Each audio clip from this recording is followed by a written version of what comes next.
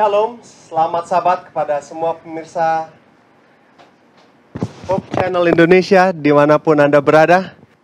Pada saat ini saya Edmund Situmorang bersama dengan rekan saya Deborah Tambunan. dan pianis kami Kevin Watimena. Kami mengucapkan puji syukur kepada Tuhan oleh karena hari ini adalah hari yang spesial Deborah. Amin. Benar ya? Karena dalam keluaran 20 ayat yang ke-8 dikatakan ingat dan kuduskanlah hari sabat. Di sini kita mengingat, di sini kita menguduskan dengan memuji Tuhan dan memberikan yang terbaik bagi Tuhan pada hari kudusnya, hari sabat. Puji Tuhan ya. Sepanjang minggu ini mungkin banyak kesusahan, banyak permasalahan, tapi pada sabat hari ini Tuhan memanggil kita semua untuk beristirahat dalam lengannya dan kami mengundang saudara-saudara yang di rumah dan di sekitarnya agar kita bersama-sama mengucap syukur dengan menyanyikan satu buah lagu dari lagu Sion nomor 441 setiap saat dalam kasihnya. Dengan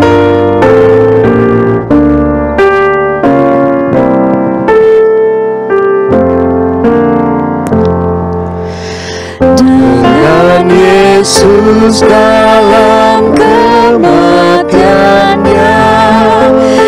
Dengan Yesus aku hidup baru. Memandang Yesus yang itu Setiap saat aku miliknya. Setiap saat dalam kasihnya. Setiap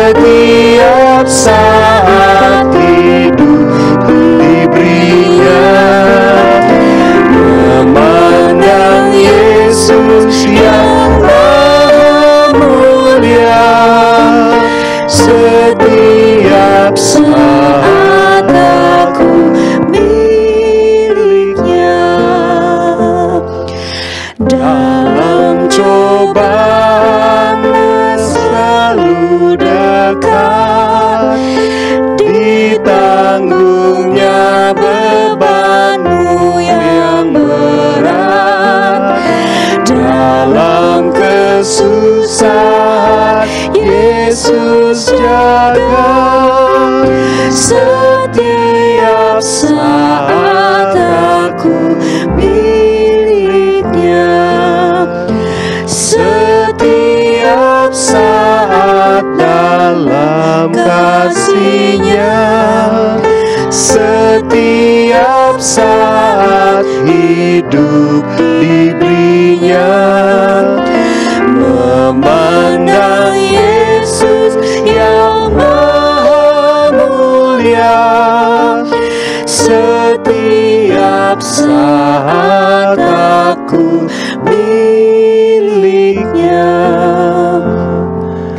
Meski dalam kepedihan hati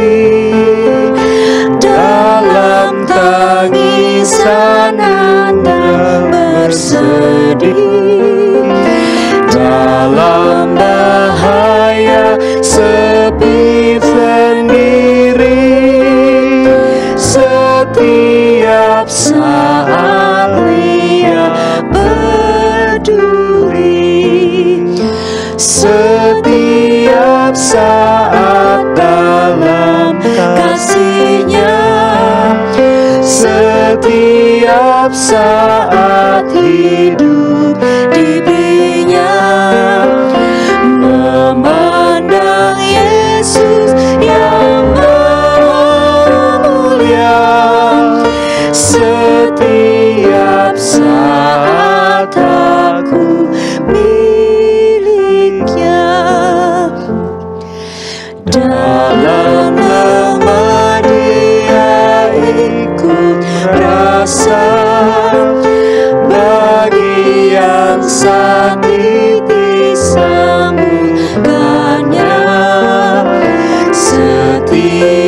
Saat senang dan susah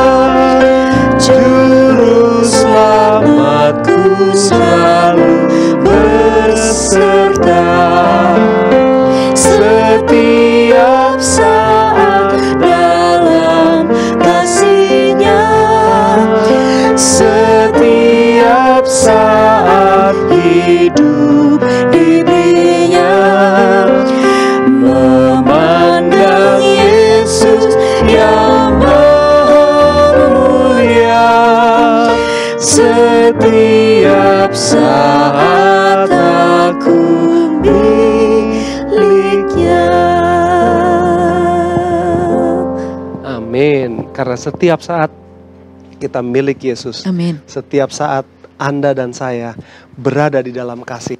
Puji Tuhan oleh karena berkat lagu yang kita boleh nyanyikan. Lagu berikutnya kita akan menyanyikan dari lagu Sion nomor 490 Betapa bahagianya di rumah tangga. Suatu berkat kita berada di dalam rumah tangga Tuhan ya, keluarga Allah. Anda dan saya adalah keluarga di dalam rumah tangga Allah.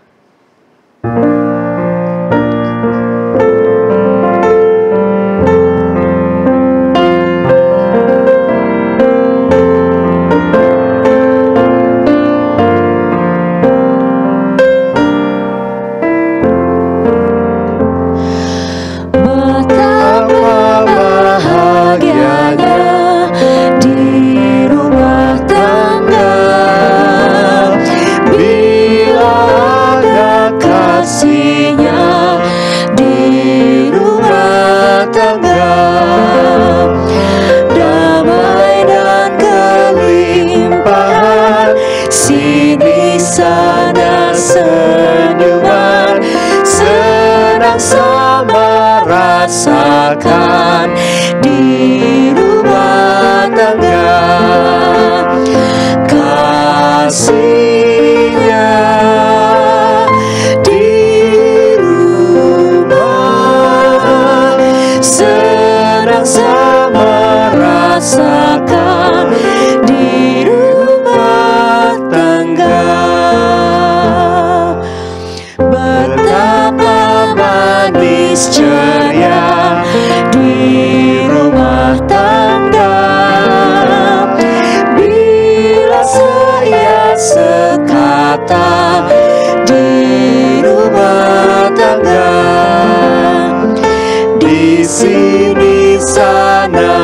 bunga memberi hati pun lega berkatnya tak terkira di rumah tangga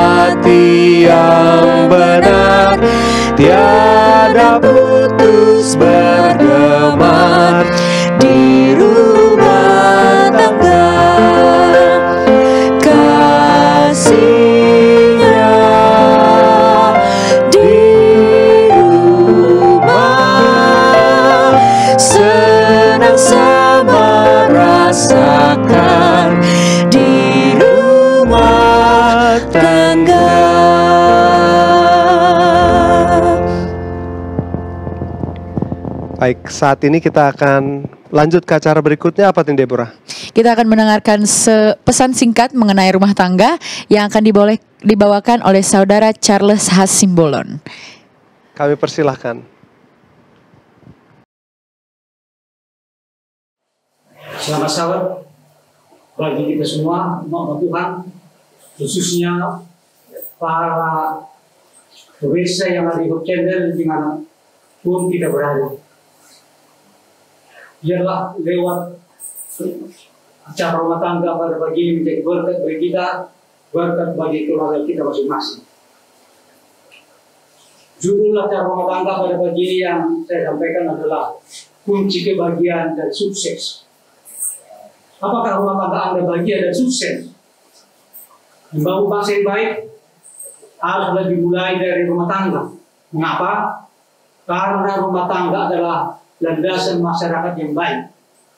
Membangun rumah tangga bahagia adalah suatu tanggung jawab yang harus dilaksanakan. Berbagai cara harus ditempuh atau dilaksanakan. kebahagiaan itu dapat terwujud dalam waktu yang ya waktu yang lama, bukan waktu yang singkat.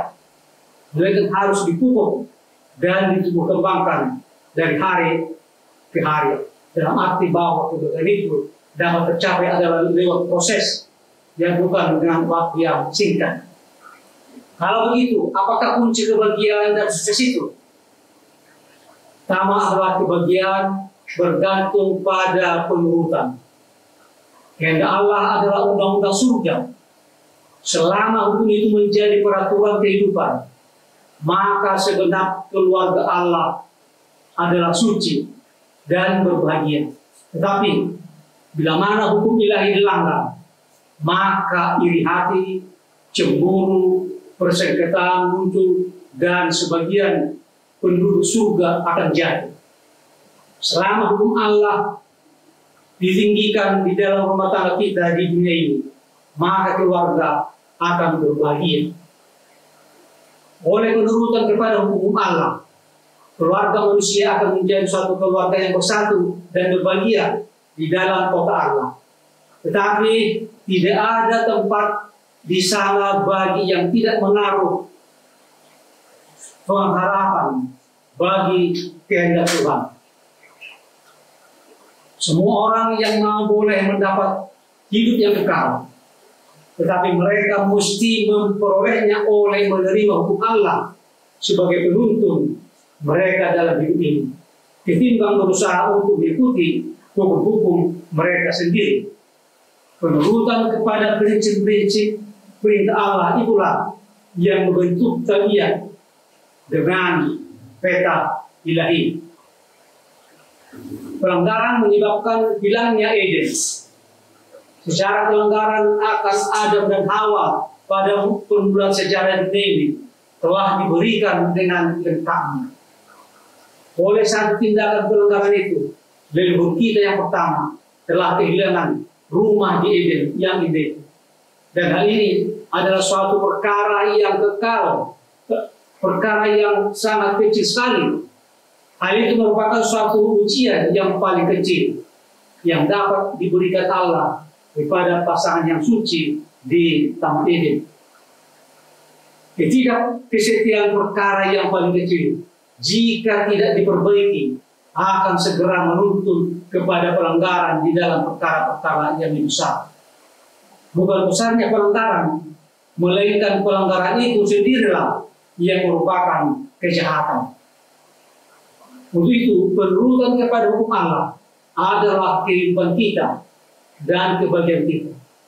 Kita memandang kepada dunia ini dan melihat ia mengerang di bawah kejahatan dan kekejaman manusia yang telah menghinakan hukum Allah. Ia telah menarik berkatnya dari kebun jeruk dan kebun anggurnya. Kalau saja bukan karena umatnya yang menurut kepada hukumnya, yang hidup di atas dunia ini, maka ia tidak akan menunda kedatangannya. Ia memperpanjang lamanya oleh karena adanya orang benar yang takut dan mengasihi dia. Tuntun anak-anak kepada jalan keburukan.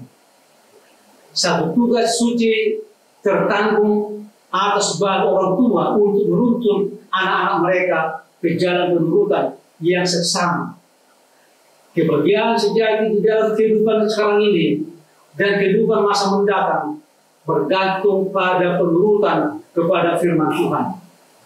Para orang tua, jadikanlah kehidupan Kristus sebagai teladan dalam hidupmu. Setan akan menggunakan segala macam cara untuk menghancurkan rumah tangga rumah tangga kita. Tugas kita untuk menanamkan di dalam diri anak-anak kita pada masa kecil mereka pemikiran bahwa mereka telah dijadikan atas peta Allah. Kristus telah datang ke dunia ini untuk memberikan kepada mereka suatu teladan hidup. Bagaimana seharusnya mereka hidup. Dan para orang tua yang mengaku percaya kepada kebenaran masa kini harus mengajar anak-anak kita untuk mengasihi Allah dan menurut hukumnya. Ini adalah tugas yang paling besar dan yang paling penting bagi kita semua oleh orang tua. Penurutan harus menjadi satu kesenangan. Para orang tua harus mendidik anak-anak akan hukum demi hukum, peraturan demi peraturan, di sini sedikit, di sana sedikit, dan tidak membiarkan adanya pelanggaran apa pun terhadap hukum Allah yang suci.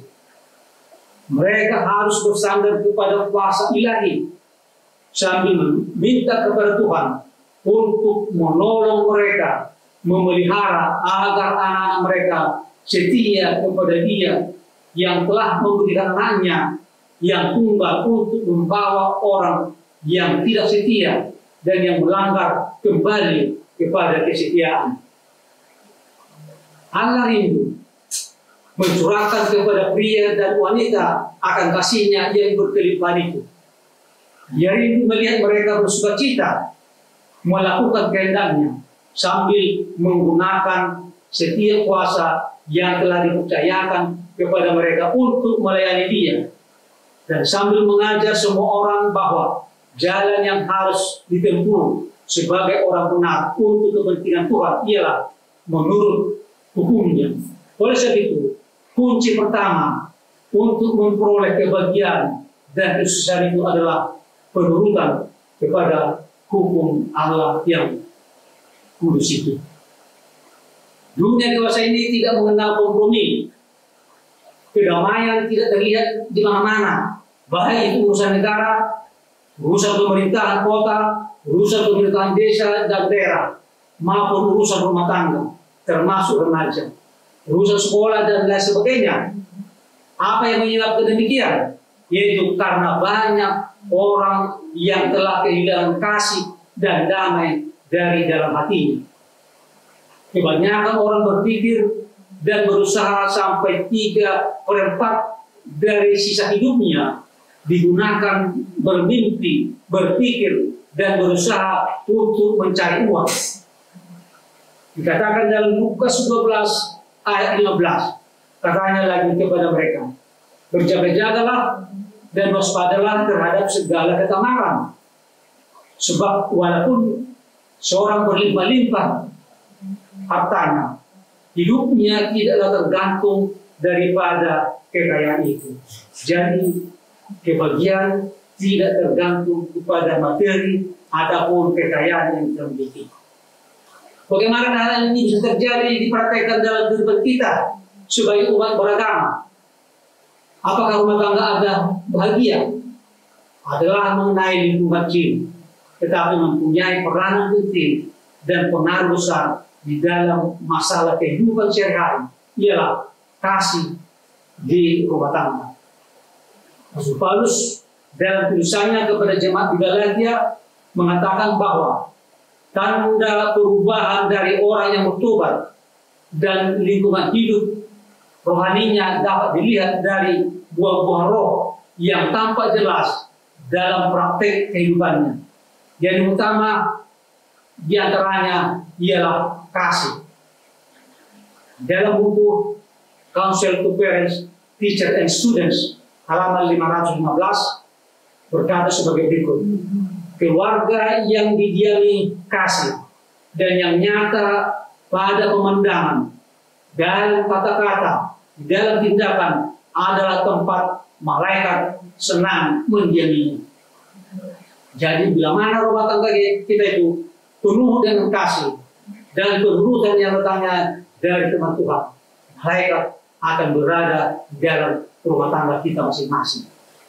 Oleh karena itu hendaklah pada sepanjang masa kehidupan mengundang dan mengizinkan Tuhan selalu hadir dalam rumah tangga kita agar dapat memiliki daya tahan yang ampuh menuju ke arah rumah tangga yang bahagia. Kalau begitu, apakah rahasia besar dari rumah tangga yang bahagia? Kembali Raja Salomo yang arif dan bijaksana itu menemukan suatu resep kebahagiaan bagi semua rumah tangga sebagai berikut. Lebih baik sepiring sayur dengan kasih daripada lembu tanggung dengan kebencian. Amsal 15 ayat 17. Jadi harta tidak menentukan akan kebahagiaan, Tetapi kasih dari Allah adalah sangat menentukan kebahagiaan dari rumah tangga kita masing-masing. Dengan adanya penjelasan dari segi um, maka jawaban dari rahasia besar rumah tangga bahagia ialah kasih. Inilah kunci kepada kebahagiaan dan sukses. Kunci yang kedua. Kunci pertama tadi kedudukan kepada firman Allah. Dan kunci yang kedua adalah kasih. Kasih yang datangnya daripada Allah. Dan dasarnya merupakan fondasi utama rumah tangga bukanlah terdiri dari harta kekayaan. Sebagaimana pendapat banyak orang pada masa kini. Perjodohan yang didasarkan atas harta benda saja cepat atau lambat akan mengalami kehancuran, mengalami perceraian dan sebagainya. Bahkan karena harta kekayaan inilah sering suami istri menjadi kurang setia terhadap sumpah perkawinan. Rasul Paulus mengatakan, demikianlah tinggal ketiga hal ini, yaitu iman, pengharapan, dan kasih. Dan yang paling besar di antaranya ialah kasih. 1 Korintus 13 ayat 13. Jadi jelas menyatakan bahwa kasih adalah dasar, landasan atau fondasi dari rumah tangga bahagia. Berbagilah rumah tangga yang beranggotakan orang-orang yang memiliki kasih sejati. Dan yang menyadari kewajibannya dalam keluarga. Dengan rasa penuh tanggung jawab untuk menghargai dan saling menolong satu dengan yang lain. Kasih dinyatakan oleh kesabaran yang tahan menderita dan penyayang. Tidak gemar mencanangkan pelanggaran-pelanggaran orang lain tidak pula membesar-besarkan kesalahan orang lain itu. Itulah kalau sudah memiliki kasih. Yang perlu ditanamkan dalam liku-liku hidup ialah satu prinsip yang terarah menuju kebahagiaan keluarga sejati, yaitu hendaklah kamu saling mengasihi satu dengan yang lain. Dan ini seharusnya menjadi suatu pedoman yang penting dalam keluarga demi membina kebahagiaan itu. Barang siapa yang punya kasih yang terutama kepada Allah akan menyatakan kasih kepada sesama manusia yang merupakan milik Allah baik oleh penciptaan maupun oleh penebusan. Kasih Allah itulah kegenapan hukum Taurat dan adalah kewajiban setiap anak Allah melakukan penurutan kepada segala perintahnya. Keluarga dirancang untuk menjadi berkat bagi umat manusia. Rumah tangga haruslah menjadikan surga kecil di bumi ini. Tempat kasih sayang dikembangkan. Menurut pemandangan dunia, uang itu memiliki kuasa. Tetapi menurut pandangan umat beragama, kasihlah yang mempunyai kuasa. 1 Korintus 13 ayat 13. Dalam kaitannya dengan rumah tangga bahagia tidaklah didasarkan pada kecukupan materi. Kebahagiaan terutama terwujud dalam keharmonisan kehidupan keluarga dan pendidikan anak kita. Kendala para bapak dan ibu mengadakan janji setia satu sama lain agar tidak ada perselisihan melainkan dalam suasana damai sejahtera dan sukacita yang mewarnai anak-anak muda dalam lingkungan keluarga atau rumah tangga tidak terlepas dari anak kita. Karena anak itu adalah harta pusaka daripada Tuhan. Mazmur 177 ayat 3. Mari Yesus datang nanti. Tuhan tidak menuntut dan bertanya berapa banyak hartamu. Di mana hartamu? Tapi yang Tuhan tuntut adalah di mana harta pusakaku yang Tuhan yang sudah kupercayakan kepada itulah nanti pertanyaan Tuhan kepada kita masing-masing rumah tangga.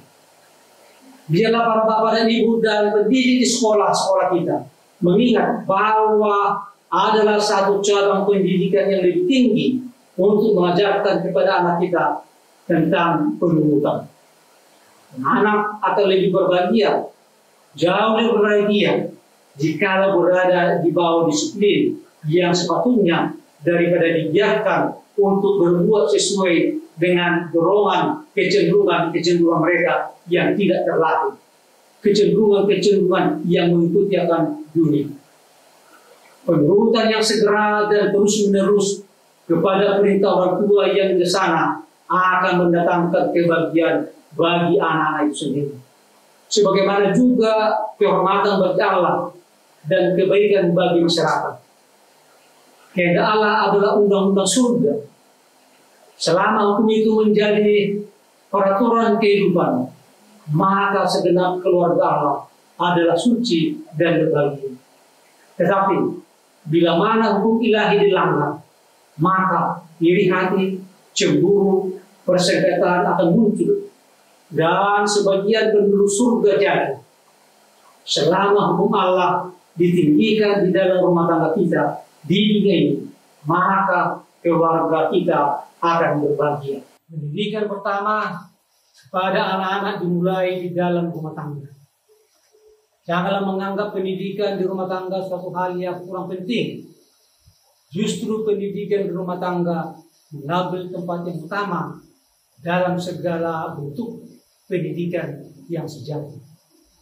Jadi anak dengan memberikan contoh yang dapat ditiru akan lebih bermanfaat daripada memelukakan banyak peraturan-peraturan dan nasihat-nasihat tanpa mewujudkan teladan dalam hidup yang bisa ditiru oleh anak-anak.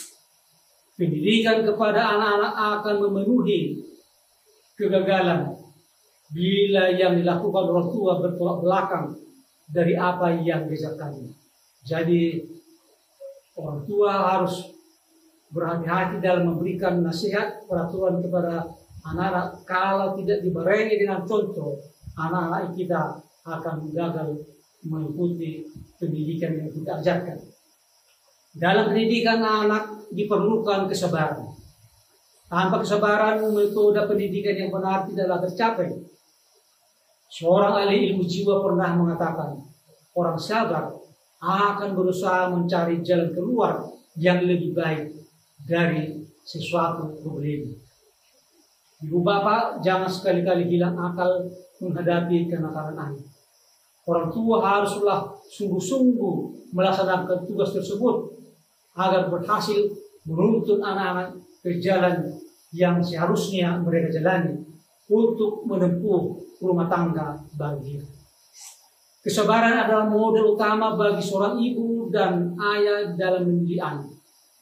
Rasul Paulus menulis, kami juga menasihati kamu, saudara-saudara, tegurlah mereka yang hidup dengan tidak tertib, hibur mereka yang tawar hati, belalah mereka yang lemah, sabarlah terhadap semua orang.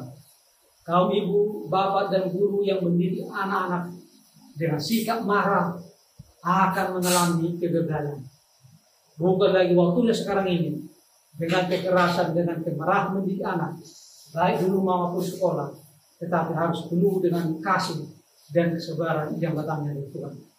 Ada peribahasa asing mengatakan, perseverance is the mother of success.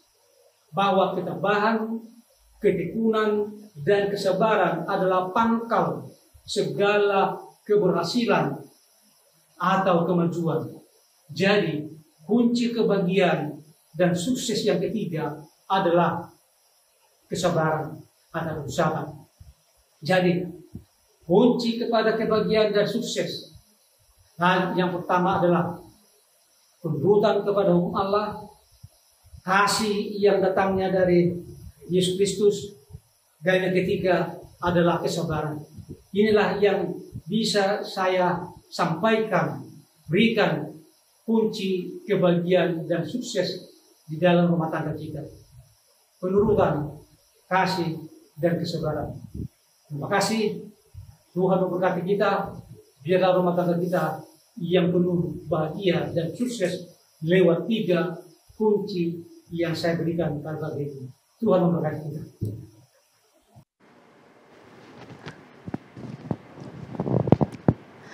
Terima kasih kepada saudara Charles yang sudah memberikan acara rumah tangga. Kiranya pesan-pesan yang sudah diberikan bisa kita ingat terus dan kita bisa uh, lakukan dalam rumah kita masing-masing ya Bang. Dan sekarang kita mau ngapain Bang? Saat ini kita akan masuk ke dalam sesi kesehatan. Tentunya kita semua sudah sangat senang ya karena uh, orang umat-umat Tuhan dikenal sehat-sehat. Oleh karena mereka belajar bagaimana hidup sehat. Kita sudah hadir bersama dengan kita dari Ikatan Dokter Advent Jakarta, Dr. Harsono Sigalingging. Shalom, dokter. Selamat sahabat, dokter. Shalom, selamat sahabat. Shalom. Bang Edmond, uh, pemirsa Hope Channel di mana pun berada. Terima kasih sudah hadir nih bersama dengan kami, umat Tuhan di mana pun berada. Kami persilakan kepada Dr. Harsono Sigalingging memberikan kepada kita uh, renungan dan pencerahan akan kesehatan.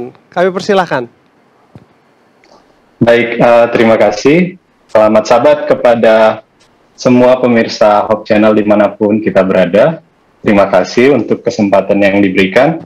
Saya mau share sedikit uh, dalam waktu yang singkat ini mengenai uh, bagaimana kita ada sebuah rahasia yang namanya rahasia membalikkan kutukan gaya hidup. Ini kita lihat dimulai dengan bahwa awalnya kita adalah dari sebuah sel, sel sperma dan juga bergabung dengan sel telur. Sel yang tidak kelihatan ini akhirnya terbuahi dan lama-kelamaan membelah menjadi dua sel, menjadi lebih banyak dan lebih banyak. Lama-lama sel puncak ini dia ada yang bentuk sel jaringan, ada yang menjadi sel tulang, ada juga yang menjadi sel kulit, ada yang menjadi sel jantung kita, ada yang menjadi sel saraf, ada yang menjadi sel darah, dan banyak sel lainnya. Sesuatu yang ajaib terjadi pada proses pembentukan kita. Dan keajaiban ini akhirnya membuat kita menjadi lahir ke dunia ini. Tetapi ada satu keputusan yang kita ambil dalam kehidupan kita yang membuat kita, kalau kita ambil keputusan itu, maka kita akan mengalami penuaan yang alami. Dan kalau kita mengambil keputusan yang lain, kita akan menua meradang. Keputusan apa itu yang kita ambil? Yaitu adalah gaya hidup. Itulah uh, pelajaran yang akan kita diskusikan pada hari ini. Untuk menua alami, sel-sel tubuh kita itu perlu dengan lingkungan yang baik, bahan-bahan bermanfaat untuk sel-sel tersebut yang tadi, dan tidak terpapar yang berlebihan terhadap racun dan juga kortisol, itu kayak stres dalam hidup kita. Itu didapat dari mana ya kira-kira? Dapat dari makanan, berat, olahraga, tidur, dan reaksi. Sebenarnya uh, New Start itu yang dibahas sebenarnya, tapi saya mau bahas yang empat ini dalam kehidupan kita. Kalau kita ambil gaya hidup kita yang benar, maka kita bisa menua alami. Tapi kalau kita mengambil gaya hidup yang berbeda, hidup kita akan meradang dan membuat kita masuk ke jalur yang ini, yang lama kelamaan tidak terlalu produktif pada saat kita nanti agak menua terlalu cepat gitu. Sebelum kita bahas yang empat poin itu, bahwa memang di dunia kita tahu bahwa 70% orang meninggal itu diakibatkan oleh non-communicable disease, penyakit karena gaya hidup yang membuat kita mengalami penyakit-penyakit jantung, kanker, uh, sakit gula, pernapasan menahun, dan penyakit tidak menular lainnya. Penyakit menular itu contohnya adalah uh, kayak COVID yang kita alami saat ini. Dan kita tahu sendiri bahwa penyakit COVID ini akan lebih berat uh, kondisinya kalau kita memiliki penyakit non-communicable atau kita sebut sekarang dengan comorbid. Jadi kita sebenarnya mau bahas tentang bagaimana penyakit comorbid ini uh, bisa kita balikkan kayak gitu supaya kita tidak menua meradang itu di dunia dan di Indonesia sama ya. Jadi uh, non-communicable disease atau penyakit yang tidak menular ini 70 sampai 80 persen mengakibatkan kematian di seluruh dunia dan juga di Indonesia. Nah, untuk pertanyaannya jadi bagi kita adalah dapatkah kita kurangi, dapatkah kita hentikan, atau dapatkah kita sembuhkan proses penyakit tidak menular ini melalui apa yang kita dapat lakukan dalam kehidupan kita sehari-hari? Jawabannya adalah kita sudah dapat, saya hanya mengingatkan kembali dan sedikit membawanya dalam sedikit saintifik pada hari sabat ini. Pertama adalah makanan. Makanan-makanan yang kita pilih dengan gaya hidup yang berbeda memberikan hasil yang berbeda dalam kehidupan kita. Kalau kita melihat pedoman gizi seimbang yang sering dibawakan oleh Dr. Leri juga ini, ada namanya piramida kesehatan, piramida makanan. Makanan yang dibawa adalah makanan nabati, semakin ke atas makanan hewani dan yang paling atas adalah makanan yang dibungkus biasanya, makasa, makanan dalam kemasan.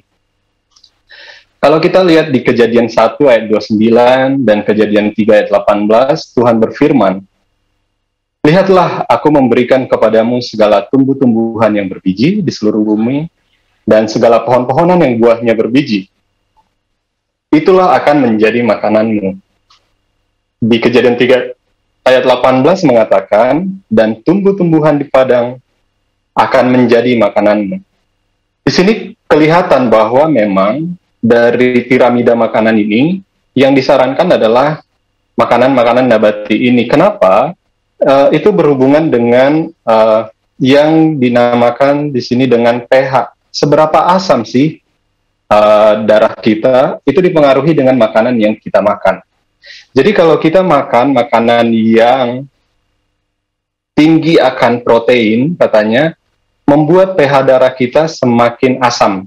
Di sini pH normal kita di uh, 7,35 sampai 7,45. Tapi kalau kita makan yang tinggi protein hewani, maka semakin asam uh, darah kita dan ini mengakibatkan peradangan di dalam tubuh kita. Bagaimana supaya pH darah kita normal? Supaya pH darah kita normal, maka makanan-makanan yang kita pilih adalah makanan-makanan yang dari tumbuh-tumbuhan. Jadi sebenarnya uh, ilmu pengetahuan dan juga Alkitab itu adalah sejajar dalam hal ini. Ini adalah salah satu contoh bagaimana hubungan yang kalau kita makan yang di puncak piramida tadi, maka itu berhubungan erat dengan korelasi kita mengalami uh, heart disease, penyakit jantung. Tetapi kalau kita makan yang nabati tadi, uh, sumbernya dari nabati atau tumbuh-tumbuhan semakin alami semakin bagus, maka itu memiliki korelasi yang negatif terhadap penyakit jantung. Jadi semakin ke tumbuhan dan semakin alami, maka korelasi untuk penyakit jantung semakin menurun. Itu penelitian yang ada dilakukan seperti di dalam slide ini. Kemudian kalau kita lihat nih, kalau saya kolesterolnya berapa ya? Kita tahu nih kalau di atas 200 kolesterol kita berarti kolesterol kita tinggi. Itu juga kalau kita makan yang hewani, maka misalnya nih uh, dari telur, semakin ke piramida makanan yang di bawah, semakin turun kolesterol yang ada di dalam tubuh kita. Itu ada penelitiannya juga. Kemudian, kalau kita membahas tentang karbohidrat, karbohidrat adalah uh, yang kita pakai, yang garis paling bawah ini, yang untuk diubah menjadi gula dalam tubuh kita. Gula itu kemudian gula dalam arti uh, glukosa ya, akan diubah menjadi energi 80 persennya dan 20 persennya akan disimpan kalau kita makan uh, karbohidrat yang benar. Itu dari jagung, ubi, nasi. Tapi kalau kita makan alko eh, minum alkohol, which is yang mana itu sebenarnya uh, tidak diperbolehkan di kita ya, maka 80% terbalik ya, 80% itu akan disimpan dan malah hanya 20% yang menjadi energi. Yang disimpan ini jadi apa? Gula dan lemak darah. Berbeda dengan kalau kita makan gula yang gula tebu yang ada di dapur, maka dia tidak digunakan menjadi energi, tetapi dia akan mengakibatkan masalah di dalam kehidupan kita. Jadi walaupun dia sebenarnya dari karbohidrat, semakin diproses, semakin dibuat tidak alami, maka proses dia menjadi energi atau disimpan menjadi gula lemak dan asam urat dan lain-lain itu uh, akan lebih tinggi terjadi. Ini adalah pembahasan bagaimana gula sebenarnya yang cuman seperti ini dengan berbagai reaksi kimia yang ada di dalam tubuh kita, kalau kita terlalu banyak makan gula, maka kita akan mengalami metabolisme sindrom dalam tubuh kita. Uh, perlemakan hati, insulin kita jadi resisten dan mengakibatkan sakit gula, darah tinggi, dan lain sebagainya. Ini adalah contoh bagaimana kalau kita makanan yang lebih alami, makan makanan yang lebih alami, maka gula darah di dalam tubuh kita di range normal dia. Jadi dia kita makan berapa menit kemudian agak naik sedikit, kemudian turun dalam keadaan terkontrol. Berbeda kalau kita makan yang di piramida makanan tadi itu yang lebih tinggi, termasuk kalau kita minum gula dan madu, kita akan makan makanan tersebut, kemudian langsung naik high peak dan akhirnya langsung turun di bawah normal. Ini yang mengakibatkan uh, apa namanya? Homeostasis di dalam tubuh kita itu tidak seimbang dan mengakibatkan uh, penyakit diabetes. Kemudian tentang garam sebenarnya, kalau kita ketahui tentang garam, kadang kita dibilang oh darah tinggi kurangin garam ya. Sebenarnya kalau kita lihat tidak sebenarnya uh, banyak dari gula di dapur kita yang kita makan yang mengakibatkan kita garam maksudnya yang di dapur kita mengakibatkan kita jadi sakit darah tinggi. Kalau kita lihat dari masak itu hanya 5% sebenarnya garam itu yang kita makan. Tapi 77% lainnya itu dari mana ya? Natrium itu, natrium jadi garam natrium klorida. Dari mana ya kira-kira ini? Jadi sebenarnya adalah makanan-makanan yang berkemasan itu mengandung natrium. Dan kalau kita lihat direkomendasikan di uh, Menteri Kesehatan merekomendasikan misalnya 1500 mg sodium atau natrium, maka di kemasan-kemasan yang kita pakai untuk yang dipakai oleh perusahaan untuk mengawetkan makanan itu itu adalah mengandung natrium. Jadi walaupun di dapur kita udah masak, dikurang-kurangi natriumnya. Tapi kalau kita makan makasan, makan kemasan yang sering, maka kemasan ini biasanya pakai pengawet yang ini bisa mengakibatkan uh, darah tinggi kepada kita.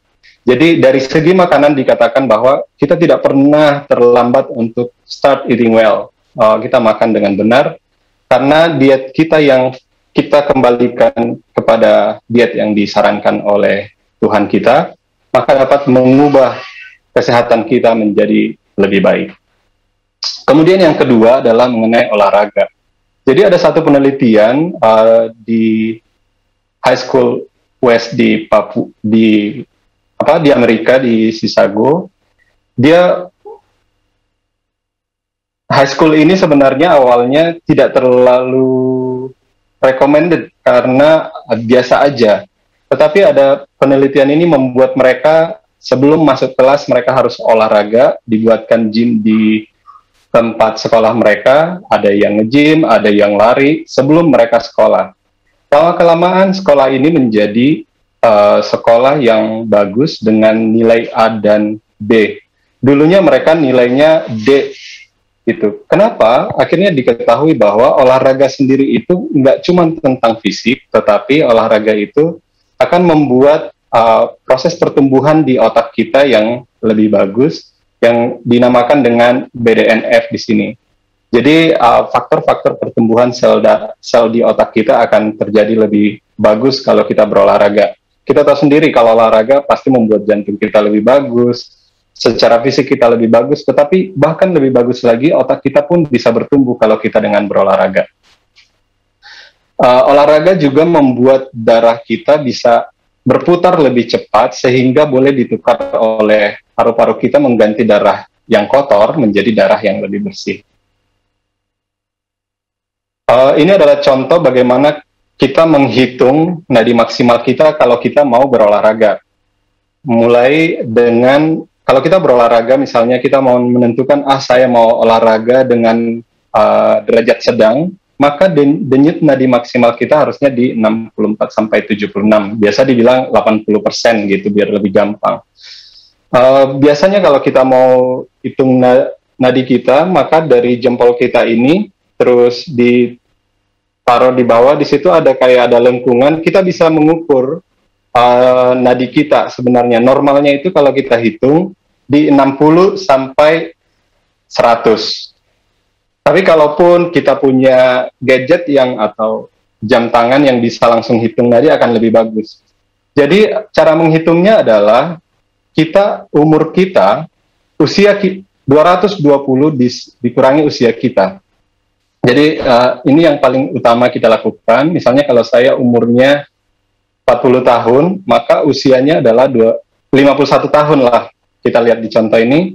Maka usianya adalah 220 dikurangi 51.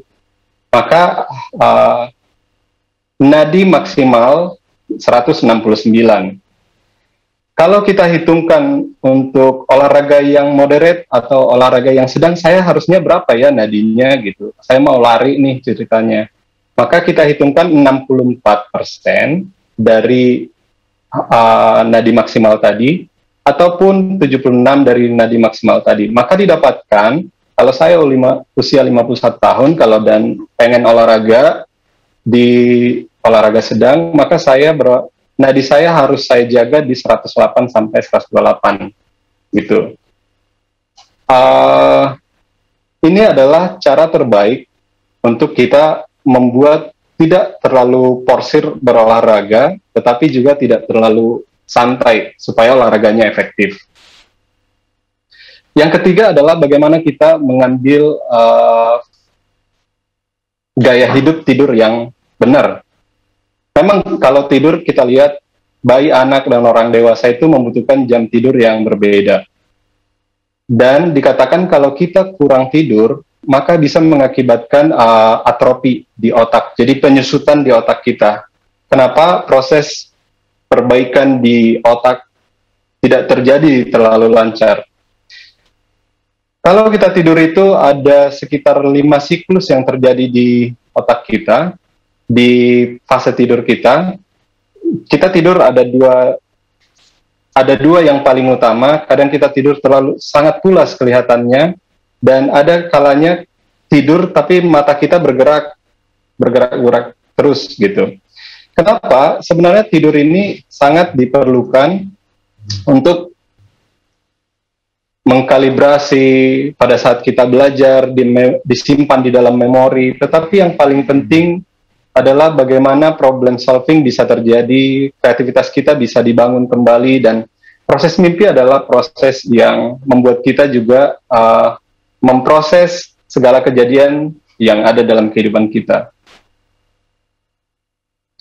Kalau kita rutin nih kurang tidur, misalnya kurang tidur kurang dari 7 jam itu, maka sistem imun kita akan terpengaruh dan sistem yang lain dan mengakibatkan peradangan di dalam tubuh kita.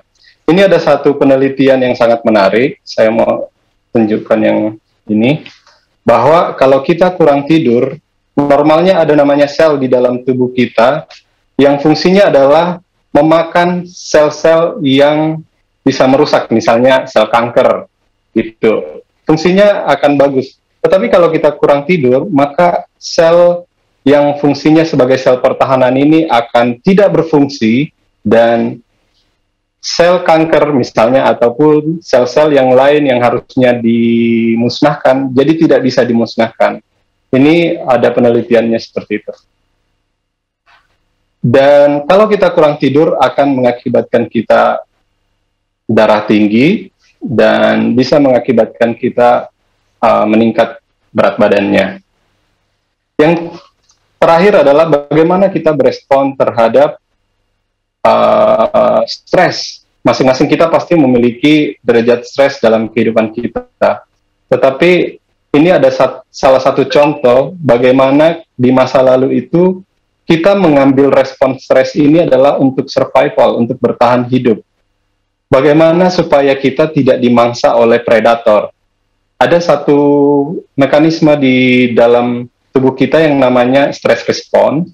Jadi kalau kita mengalami gangguan seperti terancam hidup, maka hormon-hormon di otak kita akan dibentuk, kemudian hormon ini akan mengirim sinyal ke dalam kelenjar anak ginjal kita. Kelenjar anak ginjal kemudian akan mengeluarkan hormon stres yang namanya kortisol itu dan sebenarnya hormon kortisol ini bagus digunakan untuk tahap bertahan hidup. Kenapa? Jantung akan berdetak lebih kencang, otot-otot kita akan mengencang supaya kita bisa apa? Bisa bertahan hidup apakah kita mau lari ataupun kita melawan sehingga kita bisa selamat gitu. Tetapi dalam kehidupan sehari-hari ini proses ini bukan bertahan hidup lagi yang kita pakai. Tetapi kita buka handphone, ada yang membuat stres, maka respon ini akan terjadi dalam kehidupan kita kayak seakan-akan kita terancam hidupnya gitu. Dan kortisol ini kalau bertahun-tahun atau berbulan-bulan terjadi, maka baterai kita akan bisa berkurang karena fungsinya sebenarnya bukan untuk bertahan hidup lagi, dia sudah mengganggu fungsi kita. Jadi eh, salah satu pilihan untuk kita bisa mengurangi stres adalah ada penelitian di sini dari Duke University tahun 2000 bahwa olahraga adalah lebih baik digunakan dibanding obat-obatan yang membuat kita mengurangi depresi. Tetapi uh, kadang kita menganggap olahraga ini kayak semacam ah kata-kata aja. Olahraga sebenarnya bahkan lebih baik daripada kita minum obat depresi. Kenapa? Untuk membuat kita tenang. Karena olahraga itu membuat sel-sel di pembuluh darah kita itu lebih rileks dan kita bahkan tahu tadi di otak kita pun akan terjadi proses pertumbuhan di sel-sel otak kita. Matius 11 ayat 28 yang pilihan kedua untuk uh, stres ini adalah marilah kepadaku semua yang letih lesu dan berbeban berat aku akan memberi kelegaan kepadamu. Jadi kalaupun kita stres berikanlah stres kita itu kepada Tuhan supaya Tuhan berikan kelegaan kepada kita. Jadi tubuh manusia yang tadinya hanya satu sel menjadi banyak sel sel-sel yang tadi itu menjadi triliunan sel perlu dijaga dengan gaya hidup yang bagus supaya nanti kita bisa hidup menua alami bukanlah menua yang meradang seperti di garis ini. Untuk bisa mencapai ini kita sudah diskusikan bahwa perlu lingkungan yang baik bagi sel-sel kita, perlu bahan-bahan bermanfaat makanan yang lebih alami dan juga lebih nabati, dan tidak terpapar dengan racun dan kortisol ataupun kita harus bisa mengontrol stres kita melalui makanan, gerak olahraga, tidur dan juga respon kita terhadap stres. Demikianlah pelajaran kita buat pagi hari ini. Terima kasih, selamat sahabat.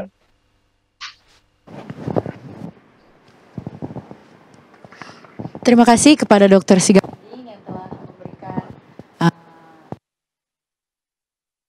penting bagi kita untuk menjaga kesehatan dari makanan, cara tidur dan juga olahraga ya. Sekarang semakin ke sini uh, kita hidup di dunia yang cukup Penuh kacau banyak. ya, ya Bang ya. Pandemi dan kita kita tidak tahu apa yang akan terjadi tetapi umat Tuhan akan dijaga itu janji Tuhan bila mana kita lakukan tepat seperti yang diperintahkan ya. Tuhan. Dan sekarang kita akan melanjutkan ke mana Bang? Kita akan melanjutkan dengan bacaan mission yang akan uh, dibawakan oleh uh, dari daerah Kalimantan kawasan timur. Silakan kepada saudari Laura Tulong. Tuhan memberkati. Shalom, selamat sahabat. Berita mision kita pada sahabat hari yang indah ini berjudul Tuhan tidak melakukan kesalahan. Di Kepulauan Karibia, banyak anak yang tinggal memiliki nama julukan. Crystal White mempunyai saudara perempuan yang bernama Catherine, tetapi semua orang memanggilnya Polly karena dia banyak bicara seperti burung beo. Crystal White juga mempunyai saudara perempuan lainnya yang bernama Rosel, tetapi semua memanggilnya Mopsy karena dia kurus seperti tongkat pel. Ayah Kristal memanggil Kristal si jelek. Ayah memberi nama panggilan itu ketika suatu hari dia sedang duduk di tangga rumah mereka di desa Cumuto di Trinidad dan Tobago. Saat ayah melewati dia, dia di tangga, dia menepuk kaki Kristal dan berkata, "Hai jelek." Kristal merasa sangat tidak senang. Teman-teman di sekolahnya memanggil Kristal sesuai dengan namanya. Tetapi sekarang malah ayahnya di rumah, ayahnya sendiri yang mengolok-oloknya di rumah. Aku tidak jelek, protes Kristal. Ayah tidak mempertimbangkan kembali kata-katanya. Kristal merasa tidak senang. Ayah memiliki 10 anak. Sekarang dia benar-benar merasa jelek. Kata-kata ayah itu pun mempengaruhi hidupnya. Dia mulai bergumul, melawan depresi, dan berpikir untuk bunuh diri. Dia membuat dirinya rela ke kelaparan karena dia berpikir bahwa jika saya kurus, saya akan terlihat cantik. Setiap hari, setiap dia pulang sekolah, dia menatap cermin dan dia mulai mengkritik bagian tubuhnya. Dia berkata, "Mengapa dahiku ber sebegitu besar? Mengapa pipi saya begitu besar?" Dia selalu mengkritik bagian tubuhnya. Suatu hari, ketika dia berdiri di depan cermin, mencela dirinya dan menangis, dia mendengar sebuah lagu dari radio yang berkata bahwa ingatlah selalu bahwa engkau begitu elok. Ingatlah selalu bahwa engkau dibuat dengan dahsyat dan ajaib oleh Tuhan. Engkau adalah anak Tuhan Yesus Kristus. Seketika itu juga kata-kata itu menyentak kristal. Dia merenung bahwa jika saya dibuat dengan dahsyat dan ajaib oleh Tuhan dan saya mencela segalanya, itu berarti saya memberitahu bahwa Tuhan telah melakukan kesalahan. Dia menangis lebih keras dan meminta pengampunan dari Tuhan air mata kesedihan dan rasa kasihan telah diubah menjadi air mata kebahagiaan. Akhirnya dia memutuskan dirinya untuk menilai dirinya melalui mata Kristus daripada mata manusia. Untuk pertama kalinya pada usia 17 tahun, dia mulai melihat dirinya melalui mata Yesus. Dia membaca dalam Mazmur 139 ayat 14, yang memberikan sebuah arti yang baru dan dia membaca dengan sukacita. Mazmur 139 ayat 14 berkata, Aku bersyukur kepadamu oleh karena kejadianku dahsyat dan ajaib, ajaib yang kau buat, dan jiwaku benar-benar menyadarinya. Akhirnya dia pun mulai makan seperti biasa lagi, sup jagung dengan kentang, singkong, wortel, labu, dan talas. Wah, terasa enak ya. Dia tidak lagi merasa tak berharga dan mempunyai alasan untuk hidup. Gantinya mengasihani dirinya sendiri, dia belajar untuk menyerahkan segala kehidupannya kepada Tuhan. Dia mulai percaya kepada Tuhan bukan hanya untuk kebutuhannya sehari-hari, tetapi untuk kebahagiaannya juga. Dia menyadari bahwa tidak ada yang bisa mengambil sukacita yang datang dari Tuhan. Setiap kali orang memanggil nama panggilannya, dia mencoba mengabaikan itu. Ketika ayahnya memanggilnya si jelek, dia mengingat bahwa Tuhanlah yang menciptakannya. Inilah cara Tuhan menciptakan saya. Tuhan tidak melakukan kesalahan, kata Kristal kepada dirinya sendiri. Saat ini, Kristal berusia 33 tahun dan menjadi seorang pemimpin gereja yang senang mengabarkan kepada anak-anak muda bahwa Tuhan yang dia sembah tidak membuat kesalahan. Saya merasa tidak ada seorang pun yang berada di samping saya ketika saya masih muda. Saya ingin menjadi orang yang memberitahu kepada orang lain bahwa Tuhan memiliki tujuan bagi mereka seperti yang ia lakukan atau ia miliki untuk saya. Tuhan tidak melakukan kesalahan. Terima kasih atas persembahan sahabat ke-13 Anda tiga tahun lalu untuk membantu membangun gedung gereja yang pertama di alma maternya Kristal di Trinidad dan Tobago. Terima kasih juga telah mengingat universitas ini dengan persembahan sahabat ke-13 pada triwulan ini yang akan membantu membuka pusat pengaruh hidup yang lebih baik di kampus untuk melatih para mahasiswa menjadi misionaris bagi Yesus. Inilah bacaan berita mision kita pada sabat hari yang indah ini. Selamat sabat, Tuhan memberkati.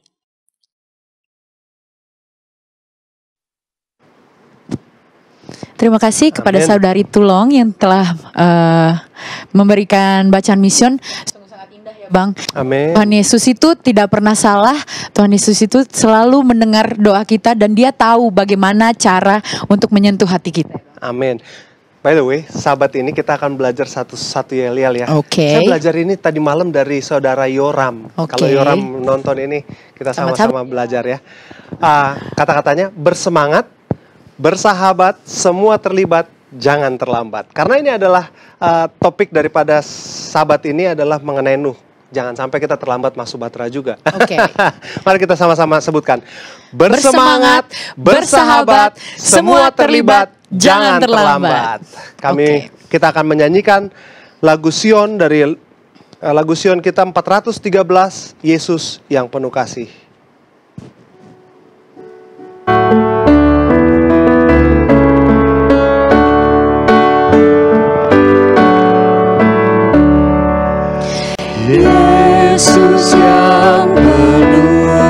Penuh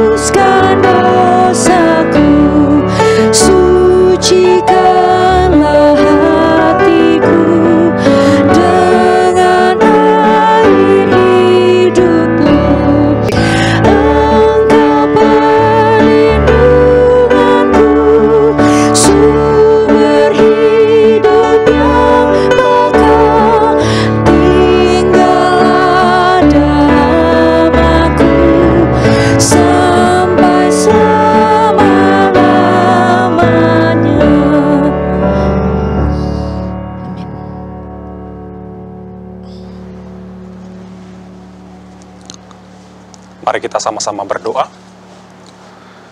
Tuhan Allah, Bapa yang bertahta dalam kerajaan sorga, puji dan syukur kami panjatkan kehadiratmu Tuhan, karena waktu yang indah ini di pagi hari kami dapat berdiskusi sekolah sabat, membahas bagaimana perjanjianmu dengan Nuh, begitu juga janjimu yang turun-temurun sampai pada generasi kami. Begitu luar biasa kasih karuniamu Tuhan, berkati para narasumber, berkati pemirsa yang ada di rumah di mana pun mereka berada, agar diskusi ini membawa terang baru, bahkan menyinari terang yang selama ini mereka pegang. Ampuni dosa kami Bapa, terima kasih dalam nama Yesus Kristus kami berdoa. Amin.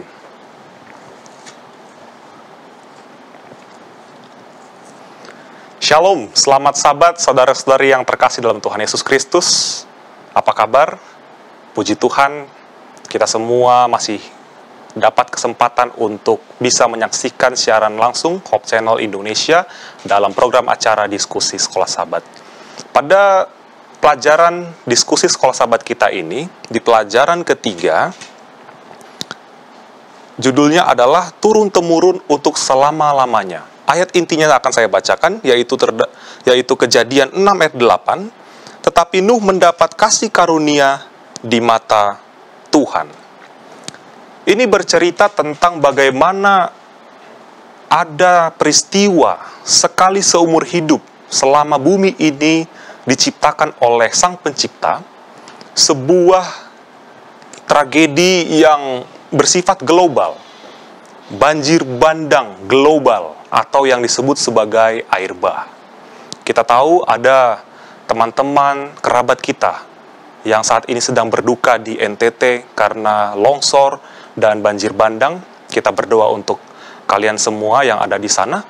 Tetapi itu peristiwanya lokal dan banyak sekali cerita-cerita dongeng yang mengarah ke sana tentang air bah ya kan seperti uh, di Danau Toba di Samosir ada cerita tentang banjir yang besar dulunya di lingkungan Samosir. Tapi Airba bercerita banjir ini telah menutupi permukaan bumi dan tentu ini sangat menarik untuk dibahas. Untuk itu saya akan menyapa kedua narasumber kita yang pada saat ini berada di tempat mereka masing-masing. Saya ingin menyapa yang pertama Pendeta Milton Pardosi Pendeta Milton Pardosi, Shalom, selamat sahabat pendeta.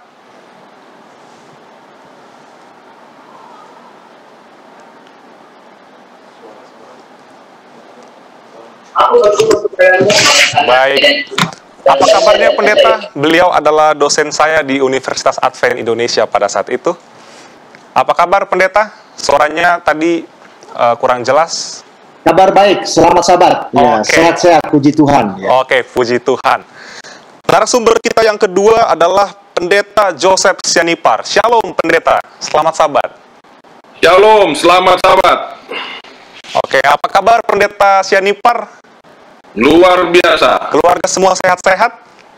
Sehat-sehat. Amin, puji Tuhan.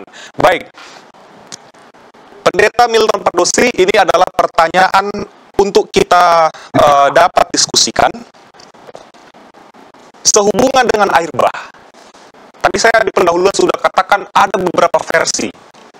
Nah, versi itu walaupun cerita daerah tetapi tetap ada kesamaan. Salah satu cerita yang terkenal adalah cerita Epic of Gilgamesh, di mana para dewa dikatakan mereka berembuk, lalu terjadi sebuah bencana yang menyerupai air bah. Nah, apa perbedaannya pendeta? Uh, kita sebagai orang Kristen bagaimana untuk memastikan bahwa versi cerita Alkitab itulah yang benar. Silakan Pendeta Milton Pardosi, kurang lebih waktunya 5 menit saya berikan. Baik, terima kasih. Selamat sahabat. Saya menyapa semua peserta atau pemirsa Hope Channel dan juga sahabat saya Pendeta Sianipar. Ini pertanyaan menarik, tetapi sebenarnya para pemirsa atau kita semua boleh membaca dokumen dari Epic of Gilgamesh ini dengan searching di Google atau di internet. Sebenarnya Epic of Gilgamesh ini adalah tulisan dari seorang raja di daerah Mesopotamia atau yang disebut dengan bangsa Akadian. Dia menulis sekitar 2700 sebelum Masehi. Jadi dia lebih dulu daripada Musa karena Musa itu tahun 1500 sebelum Masehi, ya dia menuliskan sesuatu tentang adanya peristiwa air bah. Sebenarnya yang mengalami air bah itu bukan dia. Tetapi dia dalam kisah itu menemui seseorang yang selamat dari air bah itu. Keluarga ini hanya berdua, suami dan istri. Yang saya cek di dalam tulisan-tulisan uh, tentang Epic of Galgemis ini, keluarga itu namanya keluarga Utnapistim. Dan setelah peristiwa air bah yang dialami oleh Utnapistim ini, maka mereka berdua suami istri mendapatkan kehidupan kekal dari para dewa. Nah, saudara bisa baca ada 11 lempengan dan di di internet itu, di Google itu dijelaskan lempengan demi lempengan apa isinya ini sehingga akhirnya tibalah Gilgamesh ini karena ada persoalan yang dia hadapi dengan sahabatnya karena sahabatnya itu sedang sekarat karena dikutuk oleh dewa lalu Gilgamesh ini berusaha untuk menemui Utnapistim ini untuk mendapatkan cara supaya dia sendiri mendapatkan kemampuan untuk hidup kekal. Gilgamesh ini sebenarnya dalam cerita itu adalah dua per tiga dewa sepertiga manusia.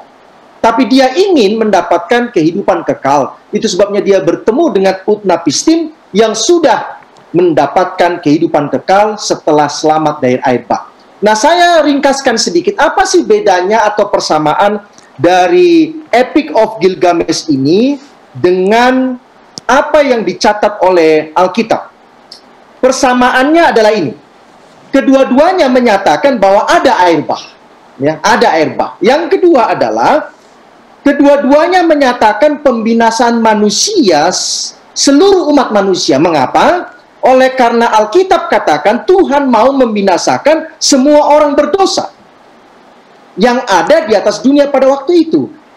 Epic of Gilgamesh juga menyatakan yang sama bahwa para dewa terbangunkan dari tidur mereka oleh karena ulah dosa manusia di atas dunia ini. Manusia di atas dunia ini. Ya, itulah persamaannya.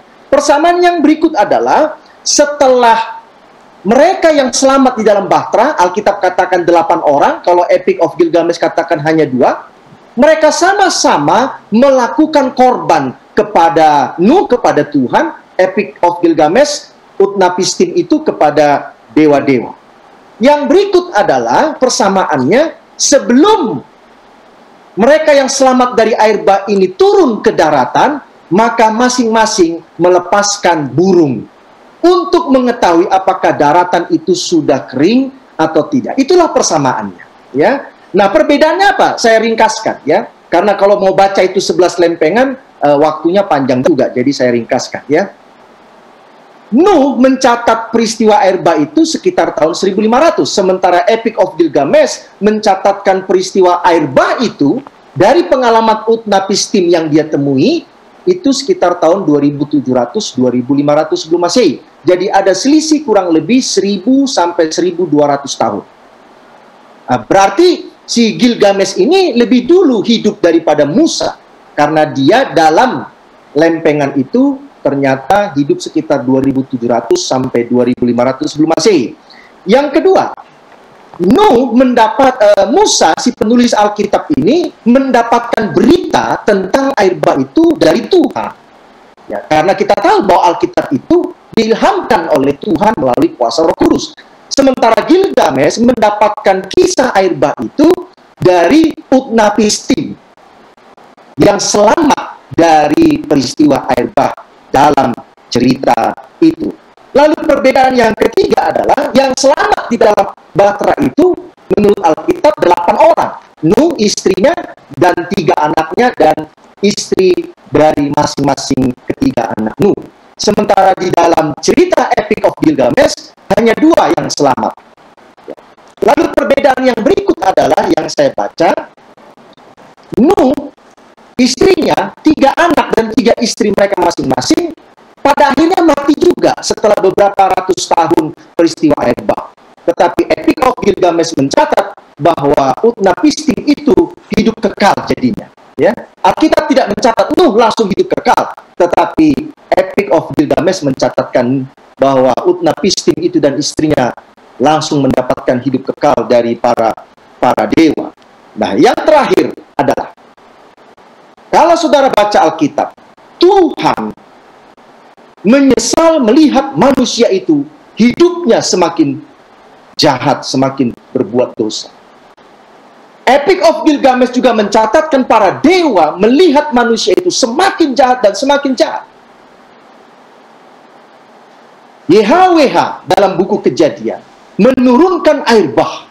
Tetapi YHWH yang sama membuat solusi keselamatan bagi Nuh dan keluarganya dan juga binatang-binatang yang ikut dan juga sebenarnya untuk siapa saja yang percaya.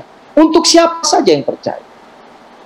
Sementara Epic of Gilgamesh dalam cerita itu ada satu dewa yang terbangunkan dari tidurnya yaitu dewa Elil. Lalu dewa Elil ini mau membinasakan manusia yang berdosa. Tiba-tiba muncul dewa yang lain yang disebut dengan dewa Ea. Dewa Ea inilah yang berbicara kepada Utnapistim, buatlah bahtera supaya engkau bisa selamat dari bahtera itu. Akhirnya terjadi pertengkaran antara dewa Elil dan dewa Ea oleh karena dewa Ea membela manusia. Nah, ceritanya jelas berbeda. Tetapi intinya ada satu. Sebelum Musa menuliskan peristiwa air bah, peristiwa air bah itu sudah dicatatkan dalam cerita-cerita mitos dalam dunia-dunia peradaban zaman dulu sekitar 2700-2500 sebelum Masehi dan menurut catatan arkeologi Epic of Gilgamesh inilah sebagai catatan pertama sebelum munculnya peradaban tulisan-tulisan di atas dunia. Kira-kira itulah persamaan atau perbedaan pendeta Stumeang yang saya bisa ringkaskan kepada kita dari 11 lempengan itu. Ya, ada cerita tentang air bah. Itu mendukung apa yang Alkitab katakan. Pertanyaannya adalah, kalau seandainya tidak ada cerita mitos air bah ini, apakah kita tetap percaya sama Alkitab? Tetap percaya. Karena Alkitab itu inspirasi dari Tuhan ya kalau epik-epik atau mitos-mitos ini itu adalah cerita dari mulut ke mulut ya dari mulut ke mulut yang diceritakan secara turun temurun. Terima kasih saya kembalikan kepada pendeta Stumea. Baik, terima kasih atas penjelasannya pendeta Milton Pardosi.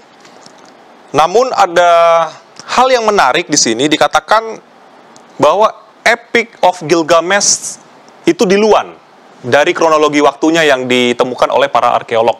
Nah, pertanyaan uh, singkat saja pendeta, sebelum saya lanjut kepada pendeta Sianipar, kalau memang itu yang diluan, walaupun ini mitos kita percayai sebagai orang Kristen, bukankah itu indikasi bahwa cerita ini lebih kuat? Karena dia lebih duluan daripada tulisan Musa atau kitab kejadian yang sekarang kita pegang. Nah, lalu sebagai orang Kristen, bagaimana kita bisa meyakini bahwa cerita yang versi Alkitab lah yang benar, bukan cerita-cerita rakyat, walaupun cerita rakyat itu di luar adanya daripada cerita Alkitab. Silakan Pendeta Milton, boleh dijawab. Baik, terima kasih. Tadi saya sudah sampaikan intinya adalah apa? Epic of Gilgamesh itu turun-temurun diceritakan Ya, boleh saja sudah ada yang berkurang, boleh saja sudah ada yang ditambahkan, ya. Lalu kemudian muncullah Musa yang mendapatkan cerita itu langsung dari si pelaku. Siapa si pelaku perjanjian itu? Yaitu Tuhan sendiri dengan Nuh. Tuhan memberikan inspirasi kepada Musa menceritakan keadaan dari air bah itu sesungguhnya. Kalau saudara baca Epic of Gilgamesh, air bah itu tidak sampai setahun, saudara-saudaraku. Hanya sekitar 30 hari. Alkitab katakan itu satu tahun. Lihat, ada perbedaannya. Karena saya menerima Alkitab sebagai firman Tuhan, maka meskipun ada mitos-mitos di berbagai bangsa di dunia ini, bahkan kalau saudara baca di di suku Indian pun ada itu mitos tentang air bah itu.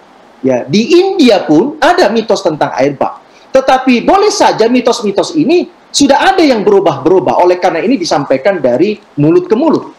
Tetapi apa yang disampaikan Tuhan kepada Musa tidak bisa berubah. Kenapa? Karena yang menyampaikan itu terlibat di dalam peristiwa itu. Karena Tuhanlah yang akan membinasakan dunia pada masa Nuh, tetapi yang akan juga menyelamatkan Nuh dan siapa saja yang percaya kepada perkabaran Nuh. Terima kasih. Baik, luar biasa Pendeta Milton Pardosi uh, jawaban yang harus kita pegang sebagai orang beriman ya, orang percaya, orang Kristen bahwa Tuhan langsung yang berperan untuk menyatakan mana uh, tulisan yang benar. Pendeta Sianipar, ini pertanyaan untuk pendeta. Dalam kejadian 6 ayat 5, dikatakan ketika dilihat Tuhan, bahwa kejahatan manusia besar di bumi, dan bahwa segala kecenderungan hatinya selalu membuahkan kejahatan semata-mata. Selalu berbuat jahat. Apa yang dimaksud dengan selalu berbuat jahat, pendeta? Dan apa nanti implikasi, aplikasi yang bisa kita dapatkan pada zaman ini? Silakan, pendeta Joseph Jennifer. Baik, terima kasih atas pertanyaannya. Uh, di sini kita temui bahwa apa yang terjadi pada zaman Nuh adalah oposit dari kejadian 1 ayat 31 ya. Dalam penciptaan kondisi itu semakin baik dan semakin baik. Namun dalam kejadian 6 ada perkembangan kejahatan dalam hati manusia ya. Dalam terjemahan lain disebut only evil, no no Holy Spirit, point of no return ya. Jadi uh, di dalam bahasa aslinya itu diibaratkan seperti sebuah uh, satu buah yang bukan lagi setengah busuk ya. Dari atas, bawah, kiri, kanan, depan, belakang tidak ada lagi yang bisa diselamatkan ya. Itulah kondisi daripada uh, manusia pada zaman air bah ya kekerasan terjadi di mana-mana dan ini merupakan salah satu tanda juga bagi manusia zaman di mana kekerasan meningkat ya. Seperti yang kita lihat terhadap George Floyd ya. Bagaimana juga uh, terorisme dan juga uh, lockdown baru-baru ini meningkatkan domestic violence, kekerasan uh, yang terjadi di provinsi Hubei, Cina, meningkat sebanyak uh, tiga kali lipat, yaitu dari 47 case ke 162 case tahun ini. Ya. Kemudian belum lagi church shooting, ya, penembakan di uh, rumah-rumah ibadat. Ya. Uh, Dallas Drake melakukan pencarian di Google tentang church syuting ini ada 137 kasus antara 100, eh, tahun 1980 sampai 2000 eh, 2005 ya. Belum lagi peperangan eh, yang terjadi ya. The Guardian menyebutkan abad ke-20 adalah abad yang paling berdarah di mana kematian akibat peperangan menelan korban jiwa sebanyak 187 juta jiwa ya. Kita merasakan uh, kegenapan Wahyu 12 ayat 12 di mana setan yang menyadari waktunya sudah semakin singkat sangat marah ya sangat marah ya dan salah satu tanda adalah Matius 24 ayat 12 kasih semakin dingin menurut statistik FBI kejahatan pencurian dan perampokan terjadi satu kali dalam tiga detik ya dari tadi kita telah berbicara selama beberapa detik violence ini telah terjadi ya. Kekerasan yang membahayakan manusia terjadi satu kali dalam setiap 22 detik. Ya. Dan uh, Chicago Chicago Sun Times tanggal 22 Juni 2020 melaporkan adanya 104 tembakan pada hari Bapak atau Father's Day yang menelan korban jiwa sebanyak 15 orang dan di antaranya anak kecil yang berusia tiga tahun. Mengapa violence ini terjadi? Ya, kita jangan lupa sekarang ini yang populer adalah violent movie, ya, film-film yang berkonten kekerasan itu yang suka dilihat. Violent games, ya, permainan games yang berisi kekerasan. Violent music, ya, musik-musik rock yang uh, ada konten kekerasan di sana. Alkitab dalam Filipi 4 ayat 8 melarang umat Kristen menggunakan violent game, uh, violent music and violent movie ya. Kenapa? Karena kita menjadi kurang bersimpati pada penderitaan orang lain. Dan juga penderitaan Yesus Kristus di kayu salib ya.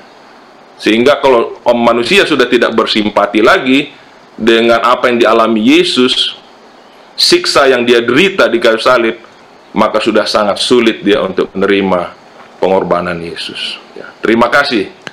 Itu yang bisa saya sampaikan, Pendeta Stumiang. Baik, Pendeta Sianipar, uh, sedikit lagi. Ini saya mau tanya lebih uh, kecil lagi. Apa memang tidak ada kebaikan-kebaikan yang muncul di zaman itu? Lalu bagaimana dengan Nuh dengan keluarganya? Nuh didapati takut akan Tuhan. Dia mendapat kasih karunia.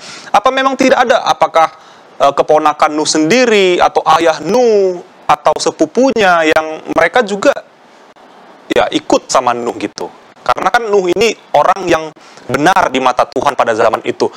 Masa kan keluarganya sendiri juga sampai-sampai sejahat itu. Apakah memang seperti itu keadaannya pendeta Sianipar? Silakan pendeta. Iya, betul. Terima kasih pendeta. Jadi ada memang perbedaan dengan Nuh dan sisi keluarganya. Kita tahu bahwa narasi air bah itu dilatar belakangi dengan pernikahan campuran antara anak-anak Allah yaitu keturunan Set dan anak-anak manusia keturunan Kain ya dengan kata lain pernikahan berdasarkan uh, kecantikan badannya atau fisik bukan karena karakter ya atau kerohanian ini berpotensi menghentikan pekerjaan roh Allah dalam hati manusia khususnya anak-anak Allah yaitu keturunan Set sehingga uh, mereka itu hampir punah itu the remnant itu ya. Oh, Oke. Okay. Dan selanjutnya kondisi ini berdampak secara global di mana terjadi peningkatan baik kuantitas maupun kualitas kejahatan di antara anak manusia. Jadi sama seperti uh, sekarang ini ya, uh, di mana Laodikia ya, suam-suam kuku, gereja yang mencintai dunia ya. Jadi uh, memang Tuhan sudah melihat kalau tidak campur tangan, maka akan habis ini sama sekali umat manusia ya yang uh, percaya kepada Tuhan. Itulah sebabnya harus dipunahkan itu yang benar-benar sudah menolak akan roh Allah. Sehingga Nuh dan keluarganya boleh selamat dan menjadi Adam yang baru setelah air bah. Oke, terima kasih Pendeta Sianipar. Penjelasan pendeta begitu jelas. Saya yakin pemirsa yang ada di rumah juga mendapatkan penjelasan yang sama. Pendeta Pardosi kembali lagi kepada pendeta. Tadi pendeta sempat katakan uh, Allah menyesal. Nah, pernyataan Allah menyesal, apakah ini sebagai bukti bahwa Allah pernah atau sudah gagal di zaman Nuh? Bagaimana tanggapan pendeta terhadap pernyataan Allah menyesal. Silahkan Pendeta Pardosi. Baik, terima kasih pertanyaannya Pendeta uh, Stumeang. Uh, kalimat Allah menyesal harus dipahami dalam cara manusia mencoba menjelaskan perasaan Tuhan terhadap keadaan manusia itu sendiri. Jangan kita lupa saudara-saudara bahwa Alkitab itu adalah firman Tuhan yang dituliskan dalam ekspresi manusia. Ya, ada beberapa ekspresi yang dituliskan oleh penulis Alkitab yang merujuk kepada Tuhan, tetapi seperti seolah-olah itu tidak cocok. Saya kasih contoh, contohnya ya. Dalam Amos 1 ayat 1, kalau saudara punya Alkitab, saudara boleh baca, di situ dituliskan, maka mengaumlah Tuhan dari Sion Kira-kira bagaimana kita memahami Amos yang diinspirasikan oleh Roh Kudus menuliskan maka mengaumlah Tuhan dari Sion. Bagi kita itu tidak pantas dan tidak hormat. Tetapi Amos mengambil ekspresi itu karena latar belakang dia sebagai seorang gembala. Dia mengetahui ketika singa mengaum, tandanya adalah dua Entah dia sedang marah, entah dia mungkin sedang kelaparan atau lain sebagainya. Nah Tuhan sedang marah kepada Israel. Amos tidak punya ekspresi yang lain yang dia pahami. Seberapa besarkah kemarahan Tuhan itu kepada bangsa yang sudah murtad ini. Itu sebabnya Amos menuliskan ekspresi mengaum dari Sion. Ya. Saya tidak yakin bahwa Tuhan itu mengaum seperti yang dimaksudkan oleh kita seekor singa, tidak. Tetapi itulah ekspresi. Nah sekarang Musa, dia mau menggambarkan bagaimanakah perasaan Tuhan. Ketika melihat yang diciptakannya ini, ketika melihat makhluk-makhluk ciptaan manusia ini yang semua kebutuhannya dilengkapi oleh Tuhan ternyata lebih memilih untuk pertama di Taman Eden. Menuruti perkataan setan.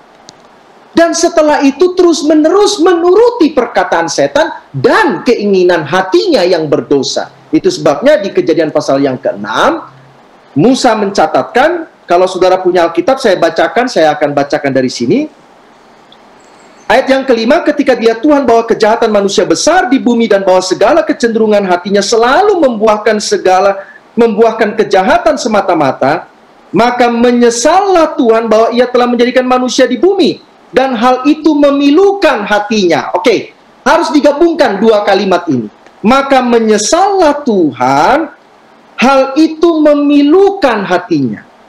Memilukan hatinya berarti membuat Tuhan itu sedih. Sedih kenapa? Oleh karena manusia ini lebih memilih untuk menuruti perkataan setan dan keinginan hatinya yang berdosa daripada mendengar, menuruti, bertobat kepada Tuhan yang menciptakan mereka dan yang memberikan segala kebutuhan mereka. Untuk memahami kata menyesal ini, maka kita harus belajar beberapa konteks ayat di Alkitab sebagai perbandingan. Menyesallah Tuhan, huruf besar, atau menyesallah Allah di dalam perjanjian lama tidak terlalu banyak. Nah, kalau saudara mau baca itu, tinggal nanti cari di uh, concordance kata menyesallah Tuhan atau menyesallah Allah. Saya akan bagikan kepada kita konteks dari kata menyesallah Tuhan atau menyesallah Allah itu paling tidak ada tiga, saudara. Yang pertama adalah terkait kepada proses pencipta uh, air bah ini. Itulah dalam kejadian pasal yang ke-6 ayat yang ke-6. Yang kedua, saya catat di Alkitab bahwa Allah menyesal atau Tuhan menyesal itu terkait kepada Tuhan hendak menghukum satu umat atau satu bangsa, atau sementara Tuhan sedang menghukum satu umat satu bangsa, tetapi Tuhan menghentikan hukuman itu. Oleh karena apa? Contohnya adalah dalam 2 Samuel 24 ayat 16, Tuhan sedang menghukum Israel, tiba-tiba penghukuman itu berhenti di Jerusalem. Atau dalam Amos 7 ayat 3 dan 6, ketika Tuhan berbicara kepada Amos, Tuhan mau menghukum Israel, Amos memohon kepada Tuhan, dan Tuhan katakan, aku menyesal telah merencanakan penghukuman ini. Konteks yang ketiga adalah, Tuhan ingin memberkati satu umat, satu bangsa, atau Tuhan ingin menghukum satu umat, satu bangsa, ketika Tuhan ingin memberkati umat itu, ternyata umat itu melawan Tuhan sehingga Tuhan menyesal untuk memberkati bangsa itu. Atau Tuhan ingin menghukum satu bangsa, tetapi karena bangsa itu bertobat kepada Tuhan, maka muncullah ekspresi Tuhan menyesal hendak menghukum bangsa itu. Kalau begitu, saya ringkaskan apa sih arti menyesal sesuai dengan konteks ayat-ayat yang tadi saya saya sampaikan Jeremia 18 ayat 8, Junus 3 ayat 10. Yang pertama adalah Tuhan menyesal itu tidak terkait kepada ketidakmahatauan Tuhan atau kemahatauan Tuhan. Tidak.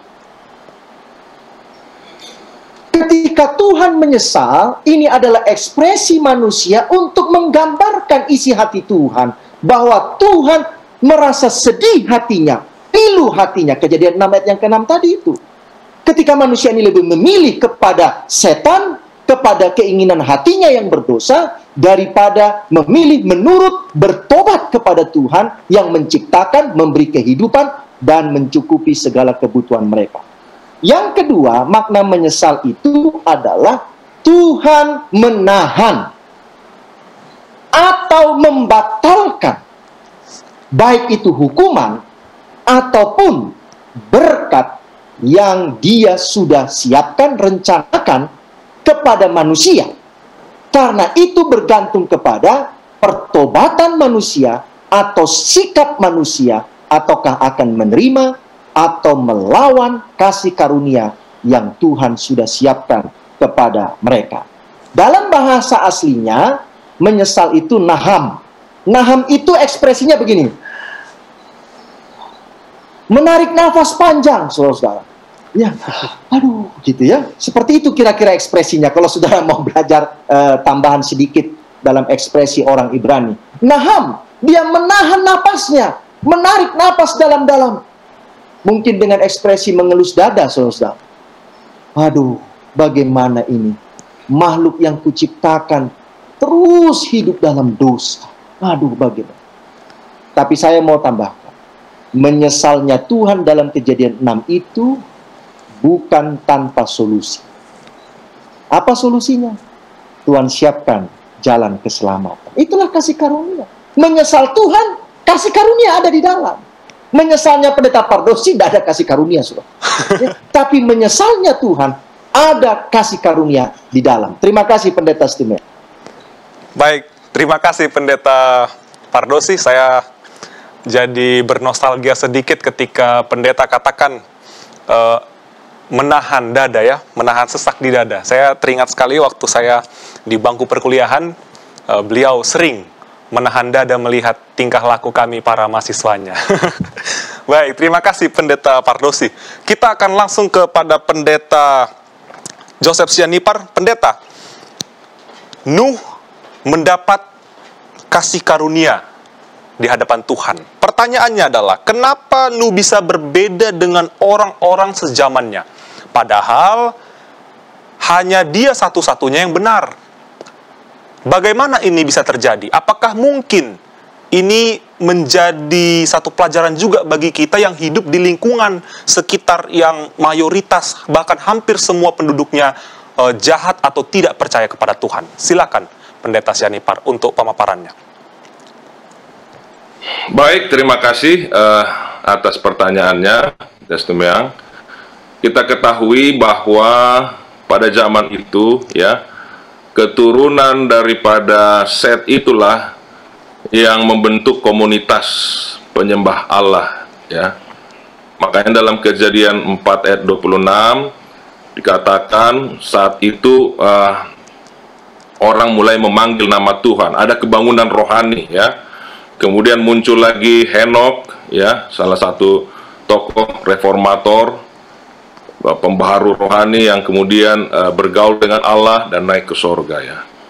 Nah, dengan adanya kembali uh, pernikahan campuran antara umat Tuhan dan bukan umat Tuhan, ini uh, melemahkan pengaruh gereja pada saat itu ya.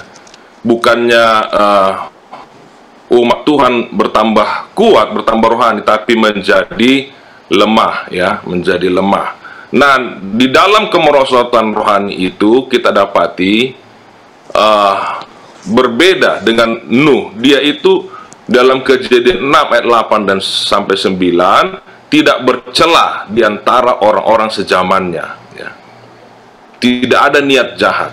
Yang kedua, seperti Henok, ya, Nuh hidup bergaul dengan Allah. Ya, frase ini hanya dua kali dalam Alkitab. Ya, pertama kepada Henok, yang kedua kepada Nuh ya. Di mana uh, Nuh bergaul dengan Allah. Dan ini sangat berbeda dengan kehidupan uh, Lamek yang adalah keturunan Kain.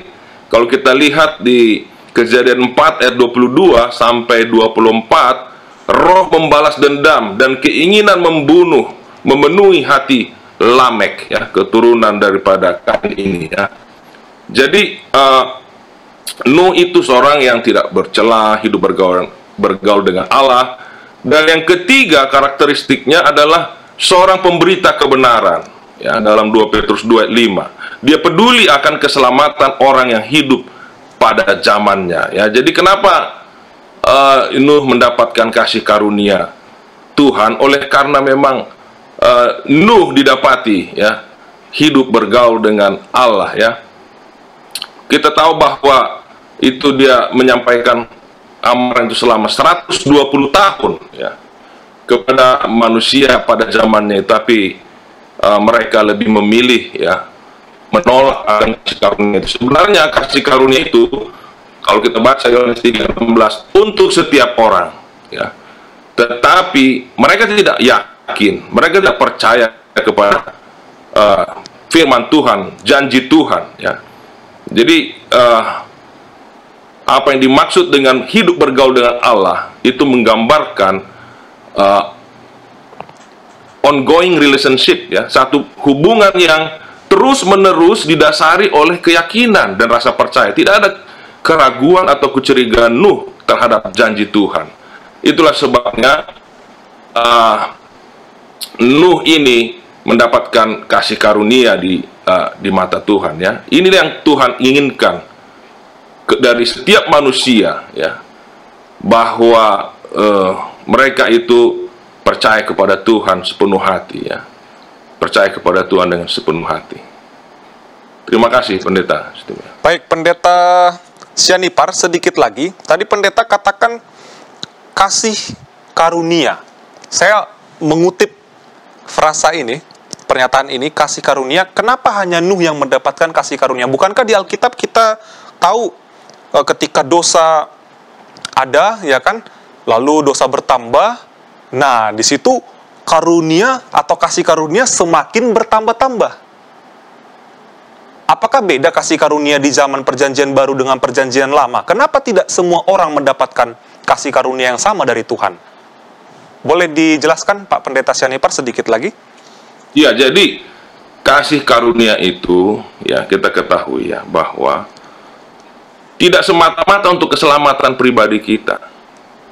Tuhan memberikan kasih karunia itu agar kita mampu menjadi partner Tuhan di dalam uh, rencana keselamatan yang uh, dunia ini secara universal ya. Nah, Nuh turut mengambil bagian di dalam uh, tawaran kerjasama itu dengan dia menjadi pemberita kebenaran. Dia berkhotbah selama 120 tahun, mengamarkan manusia pada zaman itu untuk kembali kepada Tuhan. Ya. Jadi uh, memang itu adalah pilihan menerima atau tidak ya. Yohanes 3:16 juga barang siapa yang percaya saja. Amin. Ya, yang tidak binasa. Jadi memang dalam hal ini Nuh menentukan hak pilihnya untuk berada di pihak Tuhan. Itulah sebabnya dia boleh bekerja sama dengan Tuhan uh, terkait dengan rencana keselamatan daripada umat manusia. Terima kasih, puji Tuhan. Kasih karunia itu harus seperti gayung bersambut pendeta Sianipar ya. Tidak ya, ya. bisa hanya dari Tuhan saja, lalu kita tidak terima, ya kita nggak dapat kan. Sama seperti PDKT kan. Tidak mungkin ada pernikahan tanpa kedua belah pihak saling mencintai. Baik. Betul. Terima kasih Pendeta Sianipar. Kita kembali lagi kepada Pendeta Milton Pardosi. Ada pertanyaan menarik Pendeta sehubungan dengan kejadian pasal 9. Dikatakan di sini ada sebuah tanda busur di langit. Itu di kita ketahui terjemahan bahasa Inggris dan yang kita kenal sekarang sebagai rainbow atau pelangi. Nah, pelangi yang di kejadian 9 ini sama enggak dengan pelangi yang kita lihat di langit kita sekarang ini? Lalu apakah janji Tuhan itu masih sama? Nah, saya sisipkan lagi terakhir pendeta, lalu kenapa uh, pelangi ini mungkin uh, tidak terlalu serius ya, tapi kenapa bisa pelangi itu jadi simbol yang aneh pada zaman milenial saat ini? LGBT mengambil tema pelangi sebagai simbol mereka. Mungkin pendeta Pardosi boleh jelaskan pertanyaan yang pertama dan yang kedua tadi. Silakan pendeta. Baik, terima kasih ya. Mudah-mudahan saya ingat pertanyaannya ya, karena pertanyaannya seperti beruntun ya, satu, dua, dan tiga ya. Mudah-mudahan nanti kalau saya lupa, Pendeta Stumia okay, yang ingatkan ya. Baik, pendeta. Mari kita buka ingatkan. kejadian pasal 9 ya tentang pelangi ya. Kejadian pasal 9 ayat yang kedua. Saya bacakan ayat 12 maksud saya ya. Dan Allah berfirman, inilah tanda perjanjian yang kuadakan antara aku dan kamu serta segala makhluk yang hidup yang bersama-sama dengan kamu turun-temurun untuk selama-lamanya Tuhan berjanji tidak akan lagi membinasakan dunia ini, manusia, makhluk-makhluk binatang, dan lain sebagainya dengan air bah. Itulah janji Tuhan. Dan itu janji turun-temurun. Kemudian dia 13, busurku ku taruh di awan, supaya itu menjadi tanda perjanjian. Perjanjian itu kan harus ada tandanya. Ya, kalau sekarang meterainya ada, ya. Kalau zaman dulu harus ada tandanya. Apa tandanya? Kalau dengan Abraham, perjanjian Tuhan dengan Abraham itu Abraham harus disunat, ya. Kalau dengan bangsa Israel di Gunung Sinai, maka perjanjian itu disahkan dengan Musa memercikan darah kepada bangsa Israel lalu dituliskannya 10 hukum Allah dua loh batu oleh jari tangan Allah sendiri. Tetapi di dalam perjanjian dengan uh, Nuh dan semua makhluk hidup yang ada di atas dunia ini, maka Tuhan menggunakan apa? Menggunakan busurku kutaruh di awan supaya itu menjadi tanda perjanjian antara aku dan bumi. Ini menjadi menarik kenapa? Oleh karena kalimat busurku itu, busur Tuhan itu tidak banyak muncul dalam Alkitab.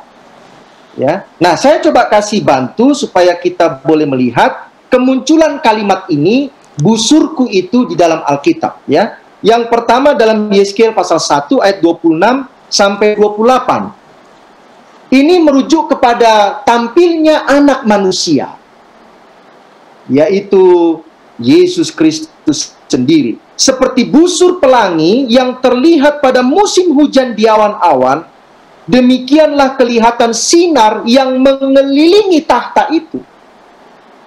Jeheskiel melihat kemuliaan tahta Allah itu, lalu dia menuliskannya seperti busur pelangi yang terlihat pada musim hujan di awan-awan. Jadi ada kaitannya dengan peristiwa kejadian 9 tadi yang saya bacakan ayat 12 dan 13. Kemudian di Wahyu pasal 4 yang ketiga ada ekspresi yang mirip seperti uh, busurku atau pelangi. Dan dia yang duduk di tahta itu nampaknya bagaikan permata yaspis dan permata sardis dan suatu pelangi melingkungi tahta itu gilang kemilang bagaikan zamrud rupanya. Jadi tahta Allah yang dilihat Yohanes di buku Wahyu dengan tahta Allah yang dilihat Jeskiel di pasal 1 ada busur, ada pelangi yang melingkupi tahta Allah itu. Kemudian di Wahyu pasal yang ke-10 ada seorang malaikat yang kuat berdiri di atas laut dan di atas bumi dan itu merujuk kepada Yesus Kristus anak manusia itu. Wahyu 10 yang pertama dan aku melihat seorang malaikat lain yang kuat turun dari sorga berselubungkan awan Ya.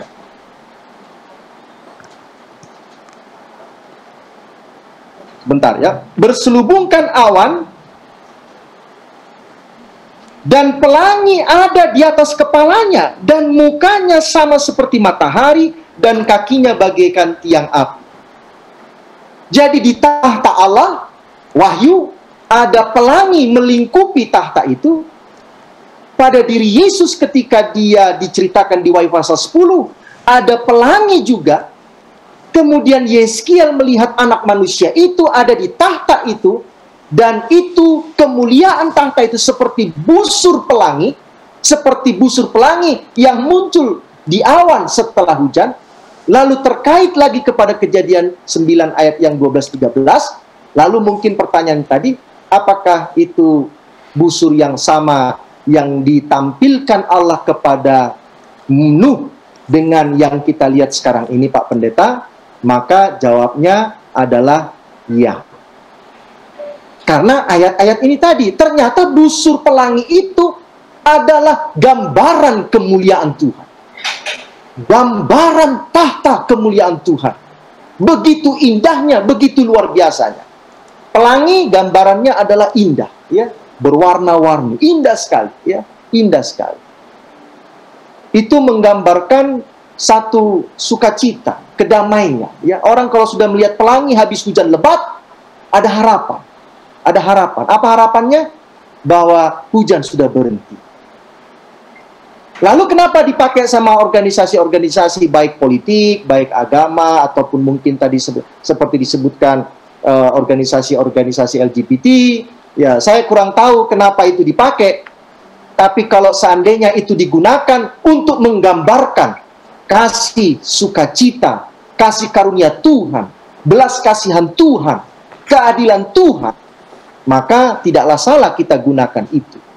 Tapi kalau ada masuk yang lain, maka tidaklah pas kita menggunakan gambaran kemuliaan tahta Tuhan itu untuk aktivitas-aktivitas yang tidak terkait kepada kebenaran firman Tuhan. Terima kasih banyak. Baik, terima kasih banyak Pendeta Pardosi. Jadi ya betul, pelangi itu adalah sebuah simbol sukacita ya, sebuah janji bahwa Tuhan tidak akan lagi memusnahkan manusia seperti yang telah ia lakukan di zaman Nuh. Namun seperti yang kita tahu di era milenial ini ada organisasi yang menyelewengkan simbol tersebut sehingga kelihatan lucu atau aneh ketika umat-umat Tuhan melihat kepada simbol tersebut.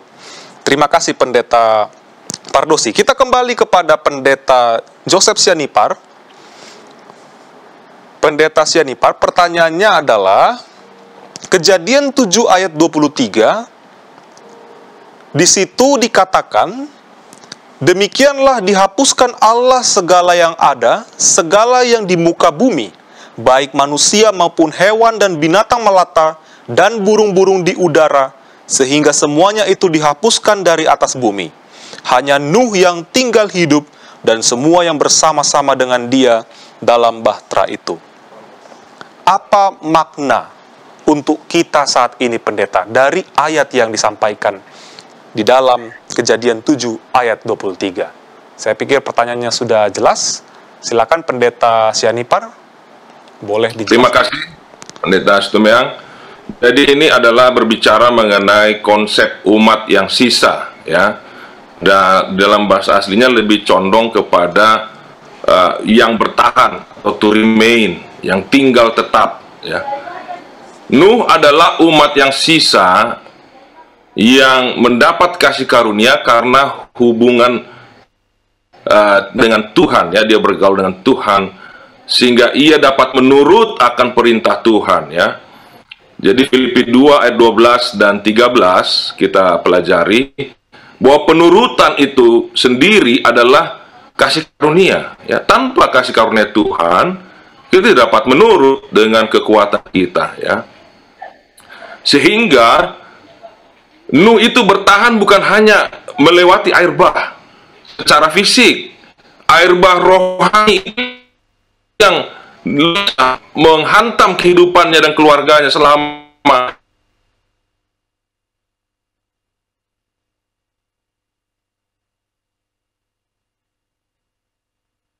Ya, sepertinya terputus pendeta Syanipar. ah, Baik. Ya, boleh sudah kedengaran lagi, suaranya? Pendeta. Baik, ya. Kedengaran Sudah? dengan jelas pendeta. Silakan dilanjut pendeta. Oke. Jadi uh, Nuh ya dalam hal ini kehidupannya merupakan prototipe daripada Yesus Kristus yang hidup di Nazaret ya. Di Nazaret terkenal sangat jahat tapi uh, Yesus uh, boleh menghidupkan satu kehidupan yang suci, tidak terpengaruh. Inilah juga yang menjadi karakter umat Tuhan di akhir zaman, yaitu kelompok 144 ribu. Nah, untuk uh, umat yang sisa atau the remnant ini ada enam konsep yang saya akan bagikan. Yang pertama adalah umat yang sisa adalah sekelompok umat yang mengalami keselamatan dari Tuhan pada masa penghakiman ilahi. Ya, dalam kejadian 7 ayat 21 sampai 23 ada kata mati, binasa, dihapuskan dari atas bumi. Nah, dalam konteks penghakiman Allah semua dihukum mati kecuali umat yang sisa. Itu yang pertama. Yang kedua, umat yang sisa merupakan satu jaminan akan eksistensi ya, kelanjutan eksistensi umat manusia di muka bumi. Ya. Yang ketiga, umat yang sisa juga merupakan jaminan hanya komunitas rohani yang turut ambil bagian dalam rencana keselamatan yang Tuhan sudah tetapkan ya dalam kejadian 3:15 di mana pada akhirnya Yesus Kristus dilahirkan di Bethlehem dan dia menang atas setan di Golgota ya. Yang keempat, umat yang sisa adalah satu komunitas yang memiliki perjanjian dengan Allah sehingga Nuh dan keluarganya menjadi satu komunitas yang mendapat perhatian dan pemeliharaan khusus dari Allah ya Kejadian 8 ayat yang pertama ya, di mana Allah mengingat Nuh dan semua yang ada dalam bahtera ya. Dia menjadi biji mata Tuhan. Yang kelima, umat yang sisa adalah satu komunitas yang menuruti Allah karena satu hubungan penuh kasih antara Allah dan manusia. Jadi sebagaimana yang Tuhan perintahkan diulang sebanyak empat kali dalam kejadian 6 ayat 22, kejadian 7 ayat 5, ayat 9 dan 16 menyatakan bahwa Allah menuntut penurutan dari orang yang sudah dibenarkan. Karena sesungguhnya mereka sudah disanggupkan untuk menurut firman Tuhan, ya. Jadi hubungan yang benar ditandai dengan adanya penurutan oleh kuasa Tuhan. Ya. Yang terakhir, umat yang sisa selamat bukan karena perbuatan mereka, tapi karena kasih karunia. Memang Nuh selamat dari bencana air bah karena menurut perintah Tuhan. Dan juga dan juga menurut perintah Tuhan untuk membangun bahtera dan masuk ke dalam bahtera. Tetapi penurutan yang sejati tidak dapat terjadi hanya oleh karena usaha manusia. Itu dimungkinkan karena karakter Allah yang penuh kasih. Di mana inisiatif itu sendiri datang dari Allah untuk menyelamatkan manusia. Ya, di Eden dia datang menanyakan di mana engkau Adam? Yang kedua, oleh karena kasih karunia dan pengampunan dari Tuhan, ya, yang menyanggupkan manusia itu untuk menurut akan firman-Nya. Dan yang ketiga adalah pilihan Allah, ya, berdasarkan kemahatauannya. Dia mengetahui siapa yang pada akhirnya menyerahkan hidupnya sepenuhnya dan menurut kepada Tuhan. Demikian pendeta Situmya. Sianipar, pemaparan yang sangat jelas yang di sampaikan oleh pendeta bahwa Nuh ini adalah sebuah lambang bagaimana umat yang sisa itu bisa bertahan. Terima kasih pendeta. Kita akan bertanya kepada pendeta Milton Pardosi lanjutan dari yang dijelaskan oleh pendeta Sianipar tentang umat yang sisa. Bagaimana pendeta supaya kita bisa menumbuhkan semangat Nuh sebagai umat yang sisa di generasi milenial ini. Karena saya yakin seiring bergantinya zaman tentu tantangannya baru. Bentuknya berbeda walaupun uh, sama. Apa tantangannya? Bagaimana supaya kami generasi milenial ini bisa seperti Nuh yang hidup pada zaman itu? Silakan pendeta Pardosi. Baik, terima kasih ya atas pertanyaan dan ini sudah menyangkut kepada aplikasinya. Kalau kita lihat kehidupan Nuh itu ada dua yang dia lakukan dalam hidupnya. Yang pertama adalah dia punya sebuah komitmen. Apa komitmen komitmen Nuh? Komitmen Nuh adalah untuk dia tetap bergaul dengan Allah meskipun di sekitarnya itu melakukan kejahatan. Saudara-saudara, adik-adik generasi milenial, bahkan kita semua yang sudah uh, orang tua, komitmen itu penting. Karena tanpa komitmen maka tidak ada goal yang mau dicapai. Jadi Nuh punya sebuah komitmen. Yang kedua, Nuh menunjukkan konsistensinya kepada komitmen yang dia sudah tetapkan dalam hidupnya. Ya. Dia konsisten 120 tahun saudara-saudara untuk memegang sebuah komitmen dan konsistensi dalam hidup itu tidak mudah. 120 tahun dia membawa kabar kasih karunia itu kepada orang-orang di masanya. Sebenarnya ada juga yang percaya. Makanya mereka turut membangun bahtera. Tetapi mungkin air bah belum datang, mereka ini sudah meninggal dunia. Ada juga yang percaya di awal, tapi mungkin karena terlalu lama, maka akhirnya mereka tidak percaya. Dan ada yang dari awal memang tidak percaya. Nah, pola iman kita ya seperti itu. Dari awal percaya dan sampai akhir percaya. Dari awal percaya, di tengah-tengah sampai akhir tidak percaya. Atau memang dari awal tidak percaya sama sekali Atau mungkin yang saya tambahkan yang keempat, dari awal tidak percaya tapi di tengah-tengah di akhir dia percaya. Tapi inti dari cerita air bah itu adalah Nuh memiliki komitmen, dia memiliki konsistensi. Dan yang ketiga ini yang penting, Nuh percaya kepada apa yang Tuhan katakan. Kepercayaan itu ditunjukkan dengan penurutannya. Ya, karena dia sudah mendapatkan kasih karunia, dia sudah mendapatkan kesempatan, privilege, the first. Ya, yang pertama mendengar tentang rencana air bah, rencana penyelamatan itu, maka dia percaya dan dia menurut. Nah, generasi milenial di zaman sekarang, di akhir zaman ini pun Tuhan akan mempunyai umat yang sisa di akhir zaman.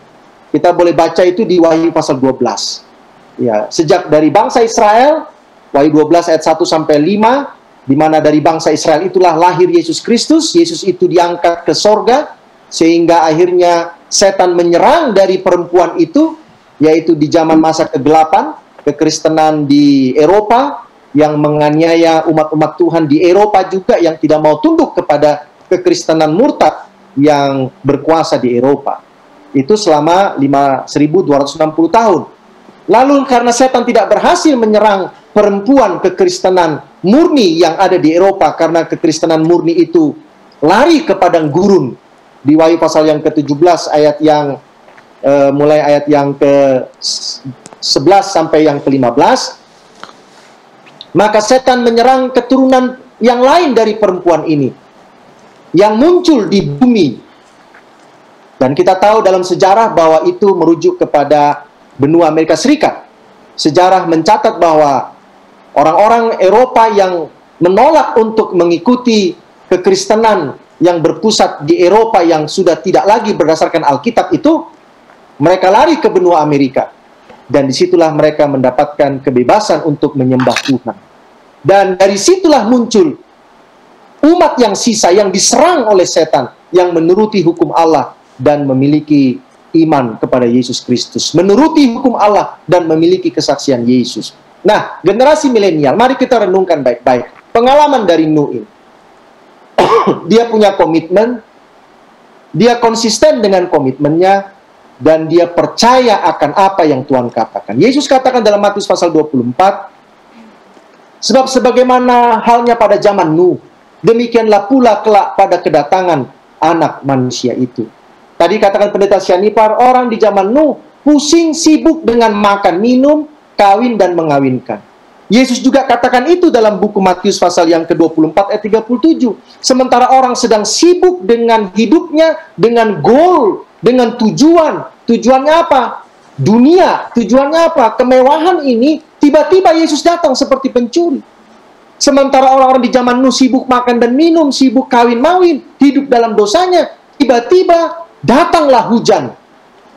Tidak ada lagi kesempatan untuk berkata, saya mau bertobat, tidak ada. Generasi milenial, jangan tunggu. Tuhan katakan dia akan datang lagi. Tuhan katakan dia akan binasakan dunia dengan api bah. Ya, saya sering menyebutnya api bah, bukan api neraka ya, tapi api bah. Karena apinya ini dahsyat sekali. Nah, kalau saudara punya komitmen, punya konsisten, dan saudara percaya betul kepada apa yang Tuhan katakan, maka dari sekarang kita harus berubah. Berubah seperti Nuh mempunyai komitmen untuk tetap bergaul dengan Tuhan berubah seperti Nuh yang tetap konsisten dengan komitmennya itu. Tidak ada orang yang tiba-tiba setia, saudara-saudaraku. Tidak ada. Nantilah Pak Pendeta, kalau saya sudah tamat sarjana, saya akan setia sama Tuhan. Tidak ada. Kesetiaan itu dimulai dari sejak muda, sejak saat ini. Barang siapa setia dari dalam perkara kecil, dia akan setia dalam perkara yang besar. Tuhan tidak akan memberikan kepada saudara perkara yang besar kalau saudara tidak setia dalam perkara yang kecil. Ya, generasi milenial kadang-kadang kita hanya gara-gara susah cari pekerjaan, lalu kita lebih menerima untuk bekerja di hari yang Tuhan suruh kita untuk beristirahat, di hari sabat. Hanya gara-gara kita takut kehilangan pekerjaan kita. Ya. Ada komitmen, ada konsisten, dan ada iman percaya penuh kepada apa yang Tuhan katakan. Terima kasih Pendeta Situmeang. Terima kasih Pendeta Pardosi komitmen dan konsistensi. Tentu ini adalah dua hal yang harus dipegang oleh generasi milenial, generasi muda-mudi pada saat ini. Kita adalah generasi penerus dari pendeta Pardosi dan pendeta Sianipar. Untuk kesimpulan, silahkan Pendeta Joseph Sianipar, kesimpulan dari pelajaran sekolah sahabat kita satu minggu ini dibawakan oleh Pendeta Sianipar dan nanti boleh juga ditambahkan apabila ada dari Pendeta Pardosi. Silakan Pendeta Sianipar. Baik, uh, terima kasih Pendeta Stumeyang bahwa yang pertama Nuh itu adalah uh, umat yang sisa pada zamannya ya. Kenapa dia dapat kasih karunia di mata Tuhan? Karena memang dia mengutamakan Tuhan dan hidup bergaul dengan Tuhan ya. Kalau kita lihat uh, banyak sekali tanda-tanda uh, alam ya pada saat ini ya di NTT ya. Ini bencana-bencana ini menandakan akan dekatnya kedatangan Yesus yang kedua kali. Belum lagi tahun 2004 gempa bumi dengan skala 9,1 skala Richter mengakibatkan juga tsunami ya, gelombang setinggi 100 kaki, ratusan ribu orang ya. Belum lagi di Haiti 220 ribu orang meninggal karena gempa ya. Ini ini ini merupakan amaran bagi kita yang hidup di akhir zaman. Bagaimana kita boleh mempelajari lagi kehidupan ya di, di penghujung daripada kehancuran dunia, tapi dia dapat memelihara hubungannya dengan Tuhan ya, memelihara hubungannya dengan Tuhan sehingga dia setelah air bah itu berlalu menjadi Adam yang baru di dunia pasca uh, air bah ya. Kita pun diharapkan Tuhan untuk dapat seperti Nuh modern pada dewasa ini. Untuk dapat bertahan uh, menghadapi uh, air bah uh, kehancuran moral di seluruh dunia ya. Sebelum kita seperti pendeta Pardosi katakan dunia dihancurkan juga oleh bah, ya, api bah ya. Jadi ini sudah diamarkan dalam Wahyu 14 ayat 7 ya. Pekabaran malaikat pertama kita harus uh, mengabarkan itu seperti Nuh akan tiba saatnya ya penghakiman dari dia menciptakan langit dan bumi dan segala isinya. Pelangi hanya menjadi jaminan bahwa dunia ini tidak akan dihancurkan oleh air bah. Pelangi tidak menjadi jaminan bahwa dunia ini akan tetap selama-lamanya. Akan ada akhirnya di mana Tuhan akan menghakimi dunia ini sekali lagi dan menjadikan dunia ini baru. Inilah pelajaran kita sepanjang uh, satu pekan ini. Tuhan memberkati. Amin. Tuhan memberkati. Pendeta Milton Pardosi, apakah ada tambahan dan sekaligus nanti pendeta boleh menutup diskusi ini dalam doa. Silakan pendeta. Baik, terima kasih Pendeta Sianipar, Pendeta Stumeyang. Jadi saya kembali saja ke judul kita, turun temurun untuk selama-lamanya. Tuhan yang berjanji. Tapi saya mau bawa sisi yang lain. Bisa ndak iman kita ini kita wariskan turun-temurun kepada anak-anak kita sampai Yesus datang. Nuh, dia berhasil mewariskan itu 120 tahun. Ya. 120 tahun. Waktu Nuh mendapatkan Sem Ham Yafet umurnya 500. Air bah itu terjadi waktu Nuh umur 600. Jadi 100 tahun Nuh ini berhasil menanamkan janji Tuhan itu, kasih karunia itu, turun temurun 100 tahun saudara-saudara. Tidak mudah itu 100 tahun. Bagaimana pendeta Sianipar? Tidak mudah itu. 100 tahun. Dia turunkan itu. Nah kita sebagai orang tua, Tuhan sudah berjanji, janji itu turun temurun sampai sekarang. Dan itu akan digenapi kedatangan Yesus yang kedua kali. Bolehkah kita menurunkan janji Tuhan itu turun temurun kepada generasi selanjutnya. Jika seandainya Yesus belum datang, maka mereka tetap memegang janji Tuhan itu. Terima kasih banyak Tuhan memberkati. Mari kita sama-sama berdoa. Bapa kami dalam kerajaan sorga, kami bersyukur berterima kasih oleh karena di hari sabat ini kami belajar Tuhan mengasihi manusia meskipun manusia itu berdosa. Tuhan menyelamat, menyiapkan jalan keselamatan karena Tuhan memang mengasihi kami orang berdosa. Terima kasih atas janji yang telah kau berikan bahwa engkau akan datang kembali. Engkau akan datang untuk mengaruniakan kehidupan kekal kepada siapa saja yang sudah menerima Yesus dan percaya kepada Yesus sebagai Tuhan dan Juru Selamat. Berkati semua peserta Hope Channel, di mana pun mereka berada, agar kami boleh mewariskan iman percaya yang sudah kami miliki terlebih dahulu sebagai orang tua kepada anak-anak, kepada cucu-cucu kami, sementara kami bersama-sama masih menunggu kedatangan Yesus yang kedua kali. Datanglah Tuhan segera. Kami sudah rindu untuk hidup tinggal bersama dengan Engkau di dalam kerajaan sorga, di dalam kekekalan. Berkati pendeta Sianipar, berkati juga pendeta Situmeang di dalam pelayanan mereka masing-masing. Berkati juga pelayan-pelayan Tuhan di Hope Channel Indonesia, agar mereka bisa tetap menjalankan program-program siaran ini dengan baik, membawa kepujian bagi nama Tuhan. Inilah doa kami ya Tuhan, dalam nama Yesus kami berdoa. Amin. Amin. Terima kasih banyak Pendeta Milton Pardosi, terima kasih banyak Pendeta Yosef Sianipar atas penjelasan, pemaparan, dan juga hal-hal yang bisa membangun kita untuk bisa seperti Nuh. Kami akan lanjut kepada program berikutnya, kepada saudara-saudari sekalian yang ada di rumah, jangan ke mana-mana. Demikianlah program acara diskusi sekolah sahabat kita, Tuhan Yesus memberkati.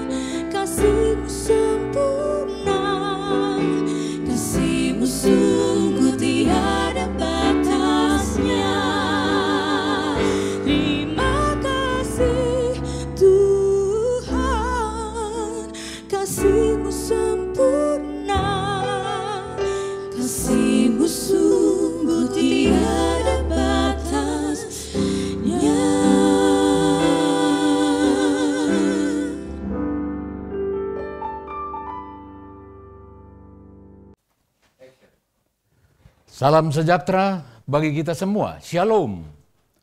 Dan selamat hari Sabat.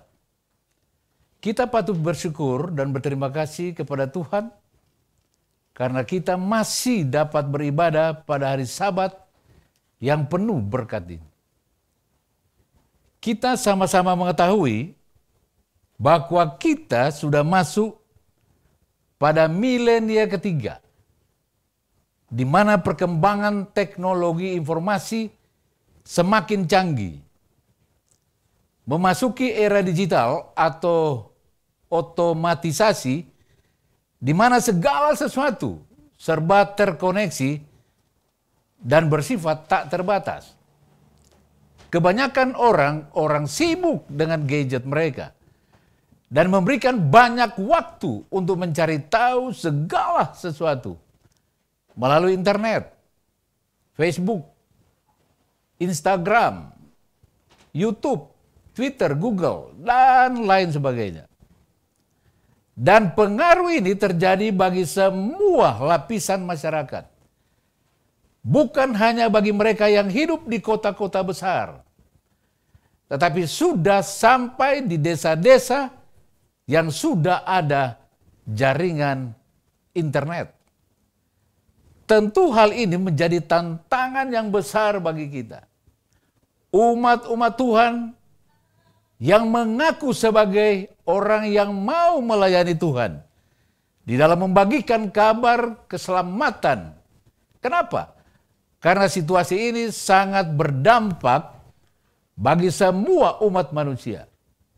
Bagi kehidupan iman pasti terganggu. Karena mereka dapat mengakses segala sesuatu. Baik hal yang positif maupun hal yang negatif. Dan memberikan banyak waktu untuk hal-hal duniawi. Tetapi sebagai umat yang beragama, yang percaya kepada Allah, bagi Allah tidak ada yang mustahil. Ketika kita mau pergi menjawab panggilan Allah untuk melayani.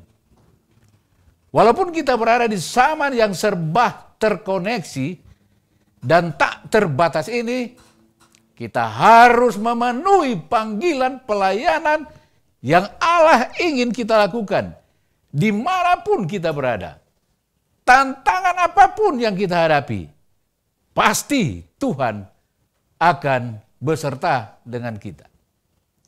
Di dalam menjalankan panggilan pelayanan yang Allah inginkan saudara dan saya lakukan, ada banyak cara yang kita bisa lakukan dengan tuntunan Roh Kudus dan tentunya Allah tidak akan membiarkan kita menghadapi tantangan-tantangan secara sendirian. Karena ada janji Allah yang indah di dalam Matius 28 ayat 20b. Dan ketahuilah, aku menyertai kamu senantiasa sampai kepada akhir zaman. Jika demikian, pertanyaan sekarang ini adalah, apa yang harus kita lakukan untuk memenuhi panggilan Allah Bagaimana kita merespon suara Tuhan yang berkata di dalam Yesaya 6 ayat yang ke-8. Siapakah yang akan kutus dan siapakah yang mau pergi untuk aku? Maka sahutku, di sinilah aku, utuslah aku. Ketika kita merespon panggilan Allah dengan memberi diri dalam pelayanan, pertanyaan berikut adalah, kita pergi untuk apa? Dan apa yang harus saya lakukan? Saudaraku, banyak hal yang dapat kita lakukan bagi umat manusia di dunia ini. Yang memiliki kerinduan untuk diselamatkan. Misalnya pergi membagi kasih bagi sesama yang sangat membutuhkan pertolongan. Meringankan beban mereka yang mungkin baru ditimpa tanah longsor yang mungkin baru ditimpa dengan gempa bumi. Sehingga mereka kekurangan pangan, mereka kekurangan pakaian. Dan kita pergi untuk mendoakan juga orang sakit. Dan banyak hal yang lain yang dapat kita lakukan untuk meringankan beban sesama kita. Di sekitar kita ada orang janda, ada yatim piatu, dan yang berkesusahan yang sering kita abaikan. Di zaman ini kita sering menjadi sangat individual. Hanya memperhatikan kebutuhan kita. Dan berusaha memenuhi kebutuhan kita. Sehingga tidak bisa melihat orang-orang yang ada di sekitar kita. Yang sangat menderita. Dan membutuhkan uluran tangan kita. Mari kita baca Matius 25 ayat yang ke-40 berkata. Dan raja itu akan menjawab mereka. Aku berkata kepadamu, sesungguhnya segala sesuatu yang kamu lakukan untuk salah seorang dari saudaraku yang paling hina ini, kamu telah melakukannya untuk aku. Di dalam buku Christ Object Lesson, halaman 191 berkata, setiap jiwa yang telah diselamatkan oleh Kristus dipanggil untuk melayani dalam namanya demi keselamatan orang lain. Pekerjaan ini telah diabaikan di Israel. Bukankah sekarang ini juga diabaikan oleh mereka yang mengaku pengikut Yesus Kristus? Ajakan saya pada hari sabat ini adalah mari kita semua bersedia untuk pergi memenuhi panggilan Allah untuk melayani sesama manusia Janganlah kita abaikan hal ini. Walaupun mungkin ada tantangan, jangan ragu. Karena Allah sekali-kali tidak akan meninggalkan. Dan sekali-kali Allah tidak akan membiarkan kita menghadapi sendirian. Tapi ada jaminan Allah bersama dengan kita. Berkat-berkat Allah akan melimpah dalam kehidupan kita ketika kita pergi dan melayani sesama manusia. Sebagaimana yang Yesus praktekkan waktu dia berada di atas dunia ini untuk melayani banyak orang. Kiranya Allah memberkati kita adalah doa dan harapan kita semua. Amin. Amin, amin. Puji Tuhan. Terima kasih uh, oleh karena dorongan yang sudah diberikan. Pada saat ini kita akan masuk ke sesi berikutnya. Bacaan dan dorongan persembahan. Kita persilahkan kepada Bapak Edison Tuuk uh, untuk membawakan bacaan dan dorongan persembahan. Shalom. Selamat sahabat. Selamat sahabat, selamat sahabat. Tuhan memberkati. Selamat sahabat. Silakan uh, memberikan dorongan persembahan pada sahabat yang indah ini. Selamat hari sahabat, umat-umat Tuhan, di mana saja saudara berada. Di hari sahabat yang suci ini kita akan mengembalikan milik Tuhan lewat persembahan dan persepuluhan kita. Biarlah semua yang kita berikan pada hari sabat ini, walaupun masih banyak yang ber, bergereja di rumah, namun saudara akan sisihkan untuk dikirim ke rumah perbendaharaan Tuhan.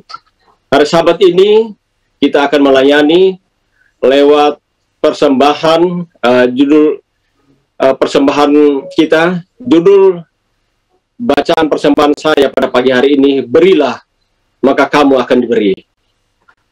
Saya ambil dalam kisah para rasul, pasal 20 ayat 35. Mengatakan begini, 35b mengatakan begini. Kita harus membantu orang-orang yang lemah dan harus mengingat perkataan Tuhan Yesus. Sebab ia sendiri telah mengatakan adalah lebih berbahagia memberi daripada menerima. Jadi dalam hal memberi kita harus lebih senang memberi. Dalam hal menerima kurangilah menerima. Biarlah kita senang untuk memberi.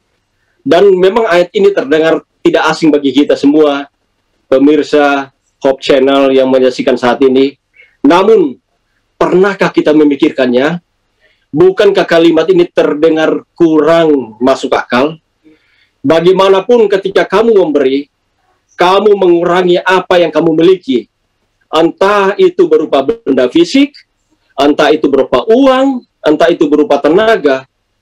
Namun, bukankah jauh lebih baik jika kita menerima dan memberi? Itulah pertanyaan yang sering kita katakan. Siapa yang tidak suka menerima, sesuatu seperti hadiah dan perhatian atau penerimaan. Sudah tentu kita lebih senang untuk menerima. Namun pada saat ini kita diajar untuk apa? Lebih banyak untuk membe- memberi. Pada hari Sabat ini saya ingin memberikan sebuah ilustrasi tentang seorang yang bernama Cyril Arthur Pearson. Cyril Arthur Pearson ini adalah seorang pendiri dari uh, majalah atau koran Pearson's Weekly atau Daily Express. Namun oleh karena kelemahan mata yang dideritanya sejak kecil, makin lama uh, saudara Pearson ini matanya itu makin memburuk dan pada akhirnya tahun pada tahun 1913 di usia yang 47 tahun dia menjadi buta total. Jadi saudara bisa merasakan kalau saudara sudah umur pada saat umur yang produktif, umur 47 tahun, seperti seorang Pearson ini, buta total. Setahun kemudian, pada tahun sekitar tahun 1915, di Perang Dunia Pertama itu meletus. Dan semua yang luka-luka dalam pertempuran mulai membanjiri rumah-rumah sakit di Inggris. Dan salah seorang yang menjadi korban adalah salah seorang pemuda yang menjadi buta sama sekali. Oh, seorang pemuda ini menangis histeris oleh karena dia tidak bisa dapat melihat dan para dokter tidak dapat untuk menolongnya. Namun ada seseorang yang meng- yang mengingat cerita mengenai Pearson ini. Mungkin uh, Arthur Pearson ini dapat memberikan pertolongan kepada orang muda ini. Dan akhirnya mereka memanggil uh, saudara Arthur Pearson ini untuk menolong pemuda ini. Dan dan akhirnya pemuda ini diberikan pertolongan pada saat kunjungan person datang eh, pada pada kunjungan person ke ru- ke rumah sakit itu pemuda ini diberikan kekuatan diberikan semangat untuk apa untuk membuka karir barunya untuk me- eh, untuk melihat dunia ini dalam kegelapan. Dan akhirnya eh, pemuda ini semangat lagi untuk apa? Untuk bangkit daripada uh, keadaan yang tidak diharapkan. Dari seorang seorang yang dulu tidak uh, bisa dulu bisa melihat sekarang tidak bisa uh, tidak bisa lagi melihat namun diberikan semangat oleh Pearson akhirnya pemuda ini diberikan kekuatan. Namun oleh karena pertolongan Pearson ini Pearson pun diberikan diberikan ide untuk membangun rumah sakit khusus bagi serdadu-serdadu yang mengalami peperangan dan mengalami buta. Dan pada uh, pertolongannya itu, di rumah sakit yang dibangun oleh Pearson itu, ada 1.700 pasien tentara yang mengalami buta diberikan pertolongan oleh oleh Pearson. Tapi penemuannya ini yang paling penting bahwa dia dapat menolong orang lain yang sa yang telah sangat menolong jiwanya sendiri. Yesus mengatakan prinsip ini dalam kata-kata seperti begini. Berilah, maka kamu akan diberi. Suatu takaran yang baik, yang dipadatkan, yang digoncangkan, dan yang ditumpah keluar, dicurahkan ke dalam ribaanmu. Maka Tuhan mengajar kepada kita dalam Lukas 6 ayat 38. Berilah, maka kamu akan diberi. Untuk itu pada hari sabat ini, kita akan memberikan persembahan, baik persembahan khusus kita, persembahan terpadu kita, maupun persepuluhan, berilah dengan sukacita. Maka berkat Tuhan akan melimpah bagi kita. Masih banyak orang-orang di sana, di Nusa Tenggara, di mana saja mengalami bencana, mereka memerlukan pertolongan kita. Hari Sabat inilah kesempatan kita untuk memberi. Sisihkanlah itu di pundi-pundi persembahan dan berikanlah itu di rumah perbendaharaan Tuhan. Maka akan ada berkat yang dapat diberikan kepada mereka yang mengalami kesusahan. Terima kasih. Kita akan mendengarkan lagu selanjutnya. Amin. Terima kasih kita akan mempersiapkan uh, diri kita untuk membawa persembahan bagi Tuhan. Kita akan menyanyikan uh, lagu persembahan kita.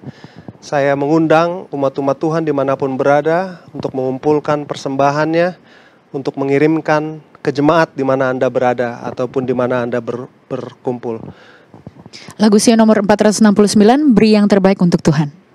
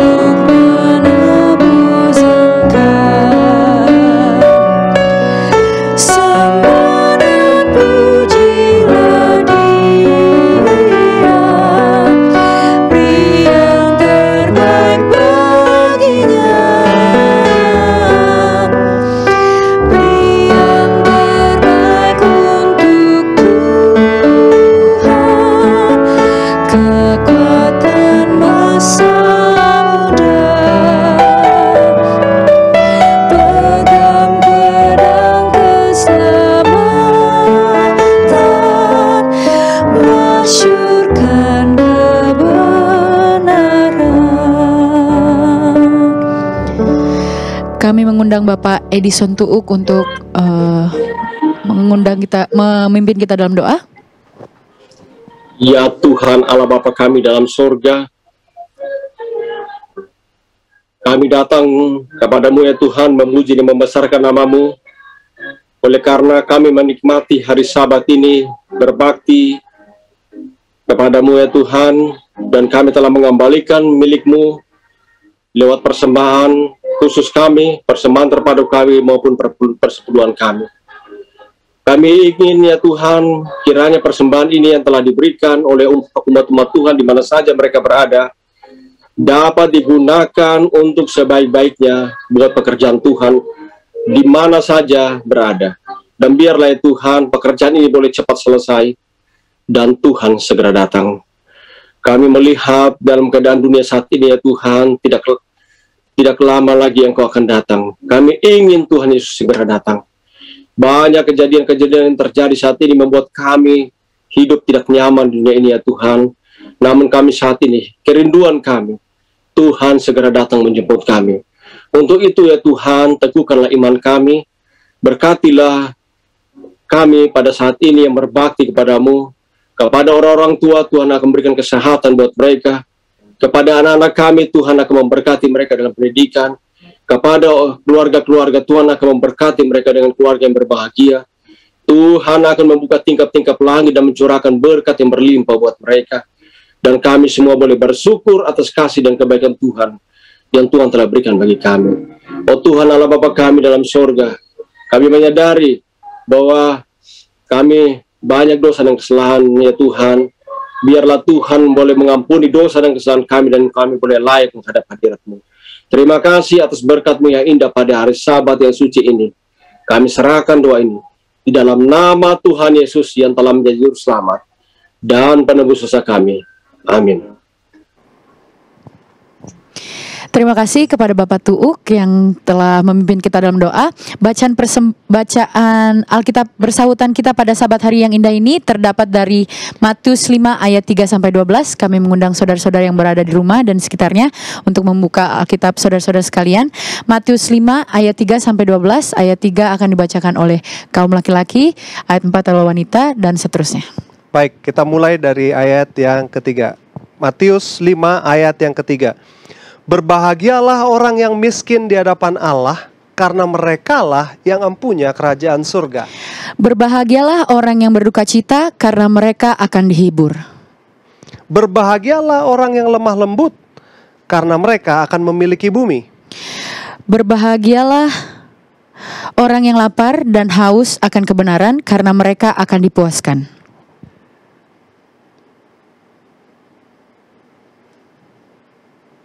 Berbahagialah orang yang murah hatinya, karena mereka akan beroleh kemurahan. Berbahagialah orang yang suci hatinya karena mereka akan melihat Allah.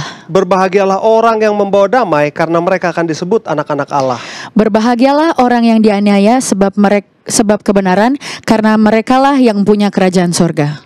Berbahagialah kamu jika karena aku kamu dicela dan dianiaya dan kepadamu difitnahkan segala yang jahat. Sama-sama ayat 12. Bersukacitalah dan bergembiralah karena upahmu besar di surga. Sebab demikian juga telah dianiaya nabi-nabi yang sebelum kamu.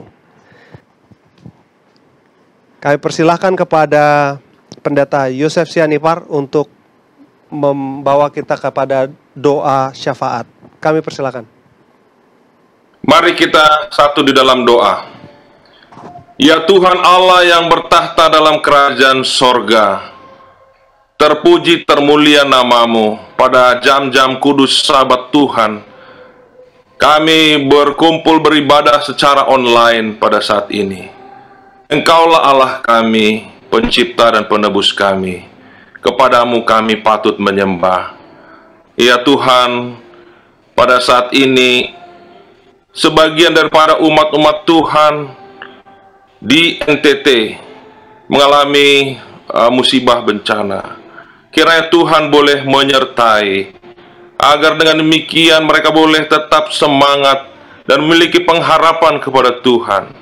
Dan Tuhan campur tangan dalam kehidupan mereka sehingga mereka boleh terberkati dan melalui segala kesulitan ini bersama dengan Tuhan secara umum pandemi yang sedang berlangsung.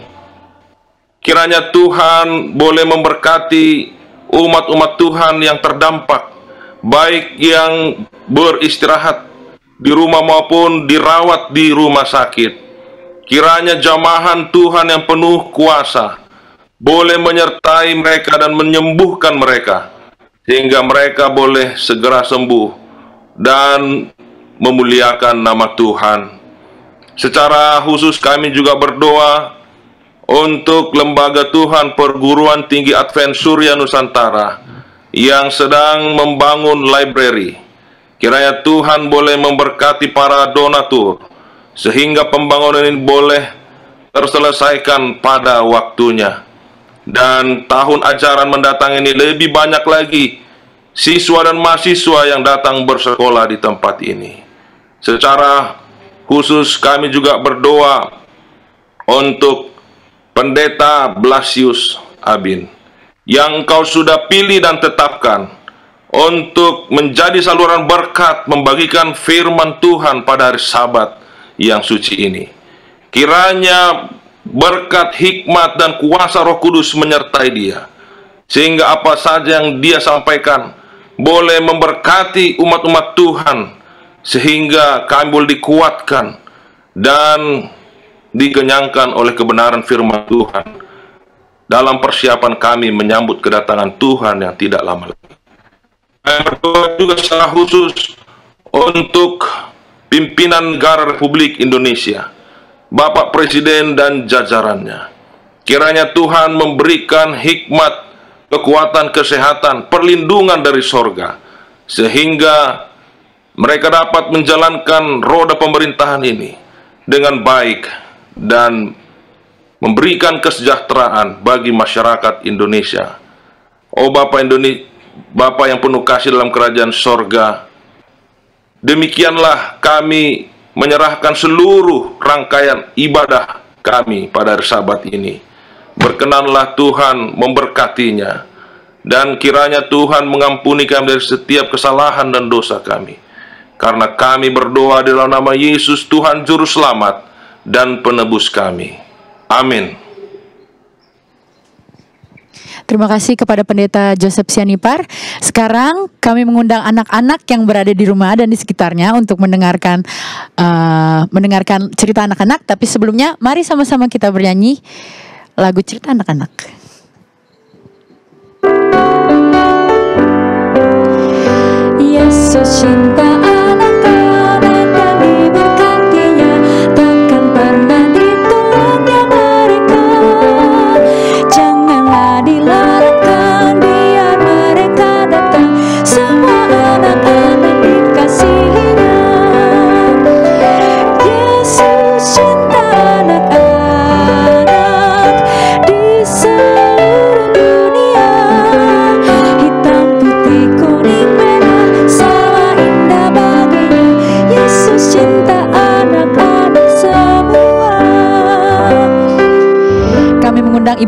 Emilia Sinurat untuk uh, memberikan cerita anak-anak. Selamat sahabat, bertemu kembali dalam cerita anak-anak pada hari sabat ini. Anak-anak yang di studio, kita sapa teman-teman kita yang ada di rumah yuk. Halo, selamat sahabat. Terima kasih. Apa kabar sahabat ini? Baik, sehat, dan ingin menjadi seperti Yesus Kristus. Dalam hal apa? Satu, senang berdoa. Dua, senang membaca kitab. Tiga, senang bersaksi. Empat, senang berbuat baik. Lima, senang bersaksi. Oke, sebelum kita melanjutkan cerita kita, kita menyanyi terlebih dahulu.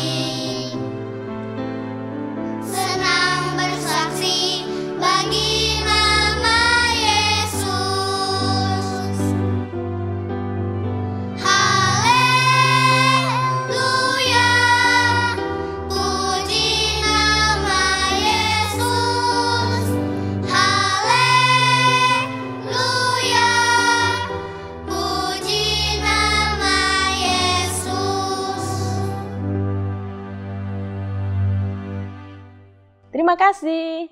Anak-anak, cerita kita pada hari sabat ini, Yakub menghormati ayahnya Ishak. Anak-anak tahu bahwa Ishak ini dia sudah tua. Matanya sudah mulai kabur dan dia sudah tidak bisa melihatlah melihat lagi. Pada suatu hari ayahnya memanggil anaknya yang pertama yang bernama Esau, anak sulungnya. Anakku, pergilah berburu ke padang gurun. Burulah di sana seekor ternak dan olahlah itu menjadi makanan kesukaanku. Maka aku akan memberkatimu. Tetapi perbincangan itu didengar oleh siapa? Oleh ibunya Rifka.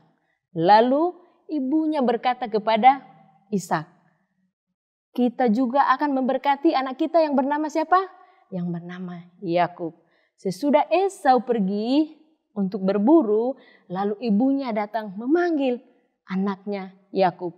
Ibunya berkata kepada Yakub, "Anakku, pergilah ke peternakan anak domba kita. Ambillah dua ekor anak domba yang baik di sana. Kita akan mengolah anak domba itu untuk kita berikan kepada ayahmu Ishak, supaya Ishak pun memberkatimu." Sesudah ibunya menyuruh Yakub pergi untuk mengambil anak domba, maka Yakub pun mengikuti apa yang diperintahkan oleh oleh ibunya. Adik-adik tahu, Yakub ini tidak pernah menyakiti hati ibunya. Dia selalu menuruti apa yang diperintahkan oleh ibunya kepadanya. Anak-anak pasti juga seperti itu ya. Jangan pernah kita menyakiti siapa? Hati ibu, ibu kita. Sesudah dia pergi mengambil anak domba itu, lalu diberikannya kepada kepada ibunya. Ibunya mengolah anak domba itu menjadi makanan kesukaan ayahnya. Sesudah selesai diolah oleh ibunya, lalu diberikannya kepada siapa? Kepada Yakub. Lalu Yakub dipanggil oleh ibunya, "Anakku, pergilah kepada Ishak. Bawalah ini makanan kesukaan siapa? Kesukaan ayahmu. Tetapi terlebih dahulu kenakanlah kulit kambing domba ini kepada leher dan juga kepada kepada tanganmu." Lalu Yakub pun melakukan hal itu kepada apa yang diperintahkan oleh oleh ibunya kepadanya. Sesudah Ishak pergi kepada ayahnya Yakub, lalu Ishak berkata kepada Yakub, "Anakku, mendekatlah kemari." Maka Yakub pun memeluk siapa? Memeluk Ishak. Sesudah Yakub memeluk Ishak, dia memberkatinya dan ia berkata kepada Yakub, "Kamu akan menjadi tuan bagi semua keluargamu dan bangsa-bangsa dan suku bangsa akan takluk kepadamu." Maka berkat itu pun menjadi bagian daripada Yakub. Anak-anak yang diberkati oleh Tuhan, kita harus menghormati orang tua dan juga orang-orang yang lebih tua dari kita. Jangan pernah kita melawan kepada siapa? Kepada orang tua kita. Dan juga kita harus menurut. Apabila kita menurut kepada Tuhan, menurut kepada orang tua, akan banyak berkat yang akan kita dapatkan. Baik itu berkat kepintaran, berkat kesehatan, Tuhan akan berikan kepada kita. Saya yakin dan percaya anak-anak semua menjadi berkat bagi orang lain, menjadi berkat bagi orang tua, dan juga menjadi berkat bagi Tuhan. Sebelum kita tutup, kita akan menyanyi, tetapi kita mendengarkan ayat inti yang dibacakan oleh adik kita, Tania.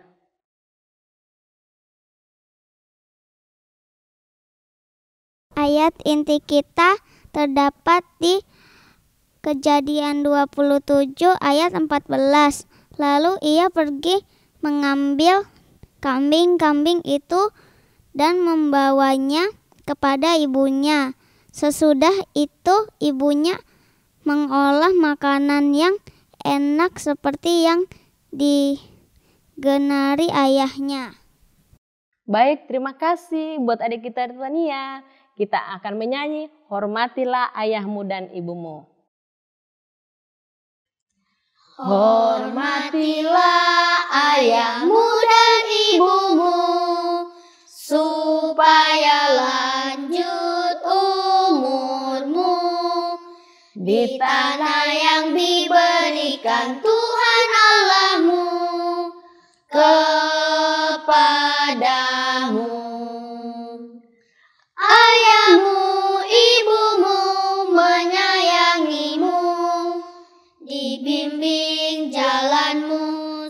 Setiap waktu, supaya hidupmu sejahtera selalu, bertumbuh di dalam kasih Tuhanmu.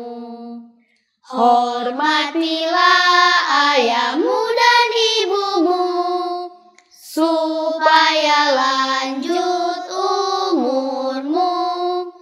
di tanah yang diberikan Tuhan Allahmu kepadamu. Ayahmu, ibumu menyayangimu, dibimbing jalanmu setiap waktu, supaya hidupmu sejahtera selalu, bertumbuh di dalam kasih Tuhanmu. Amin, amin. Terima kasih. Doa tutup yang akan dibawakan oleh adik kita Edric. Mari kita berdoa.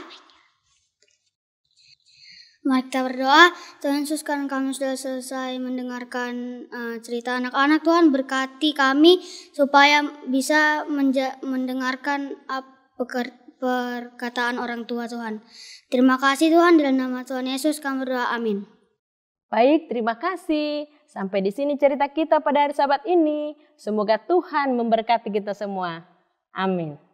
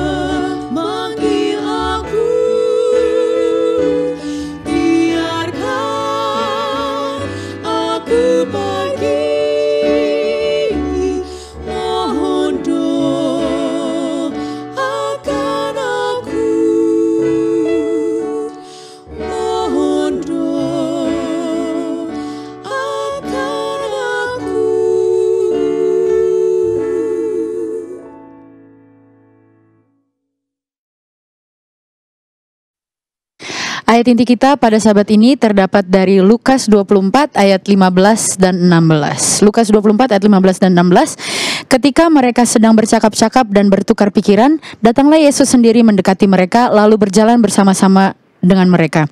Tetapi ada sesuatu yang menghalangi mata mereka sehingga mereka tidak dapat mengenal dia. Baik, kita akan menyanyikan lagu tema kita. Ku kan pergi, I will go.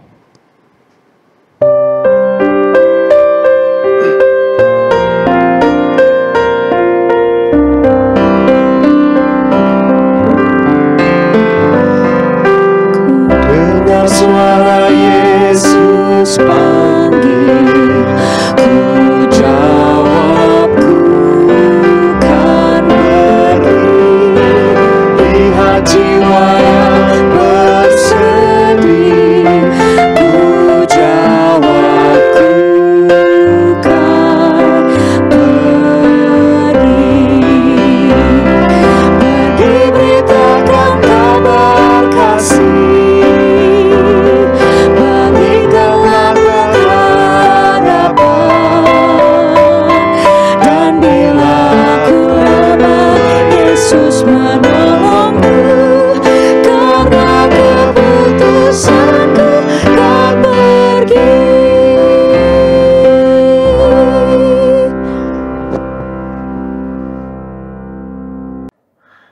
Selamat sabat untuk kita semua, di mana pun Bapak Ibu sekalian berada saat ini. Semoga Tuhan memberkati kita semua pada hari sabat yang kudus ini. Sebelum kita mulaikan renungan kita pada sabat ini, saya mengundang kita semua tunduk kepala dan kita berdoa. Bapa Surgawi, Allah yang kekal, kami telah melewati pekan pekerjaan kami. Dan hari ini kami punya alasan untuk datang kepadamu. Karena hari ini adalah hari sabat yang kudus, yang diberkati. Dan kami mohon kepadamu, datanglah di tengah ibadah kami pada hari sabatmu yang kudus ini urapi kami dengan kuasa roh kudusmu. Sucikan hati kami dari segala noda dosa, agar kami layak untuk menerima roti hidup. Inilah doa kami Tuhan dalam nama Yesus kami berdoa. Amin.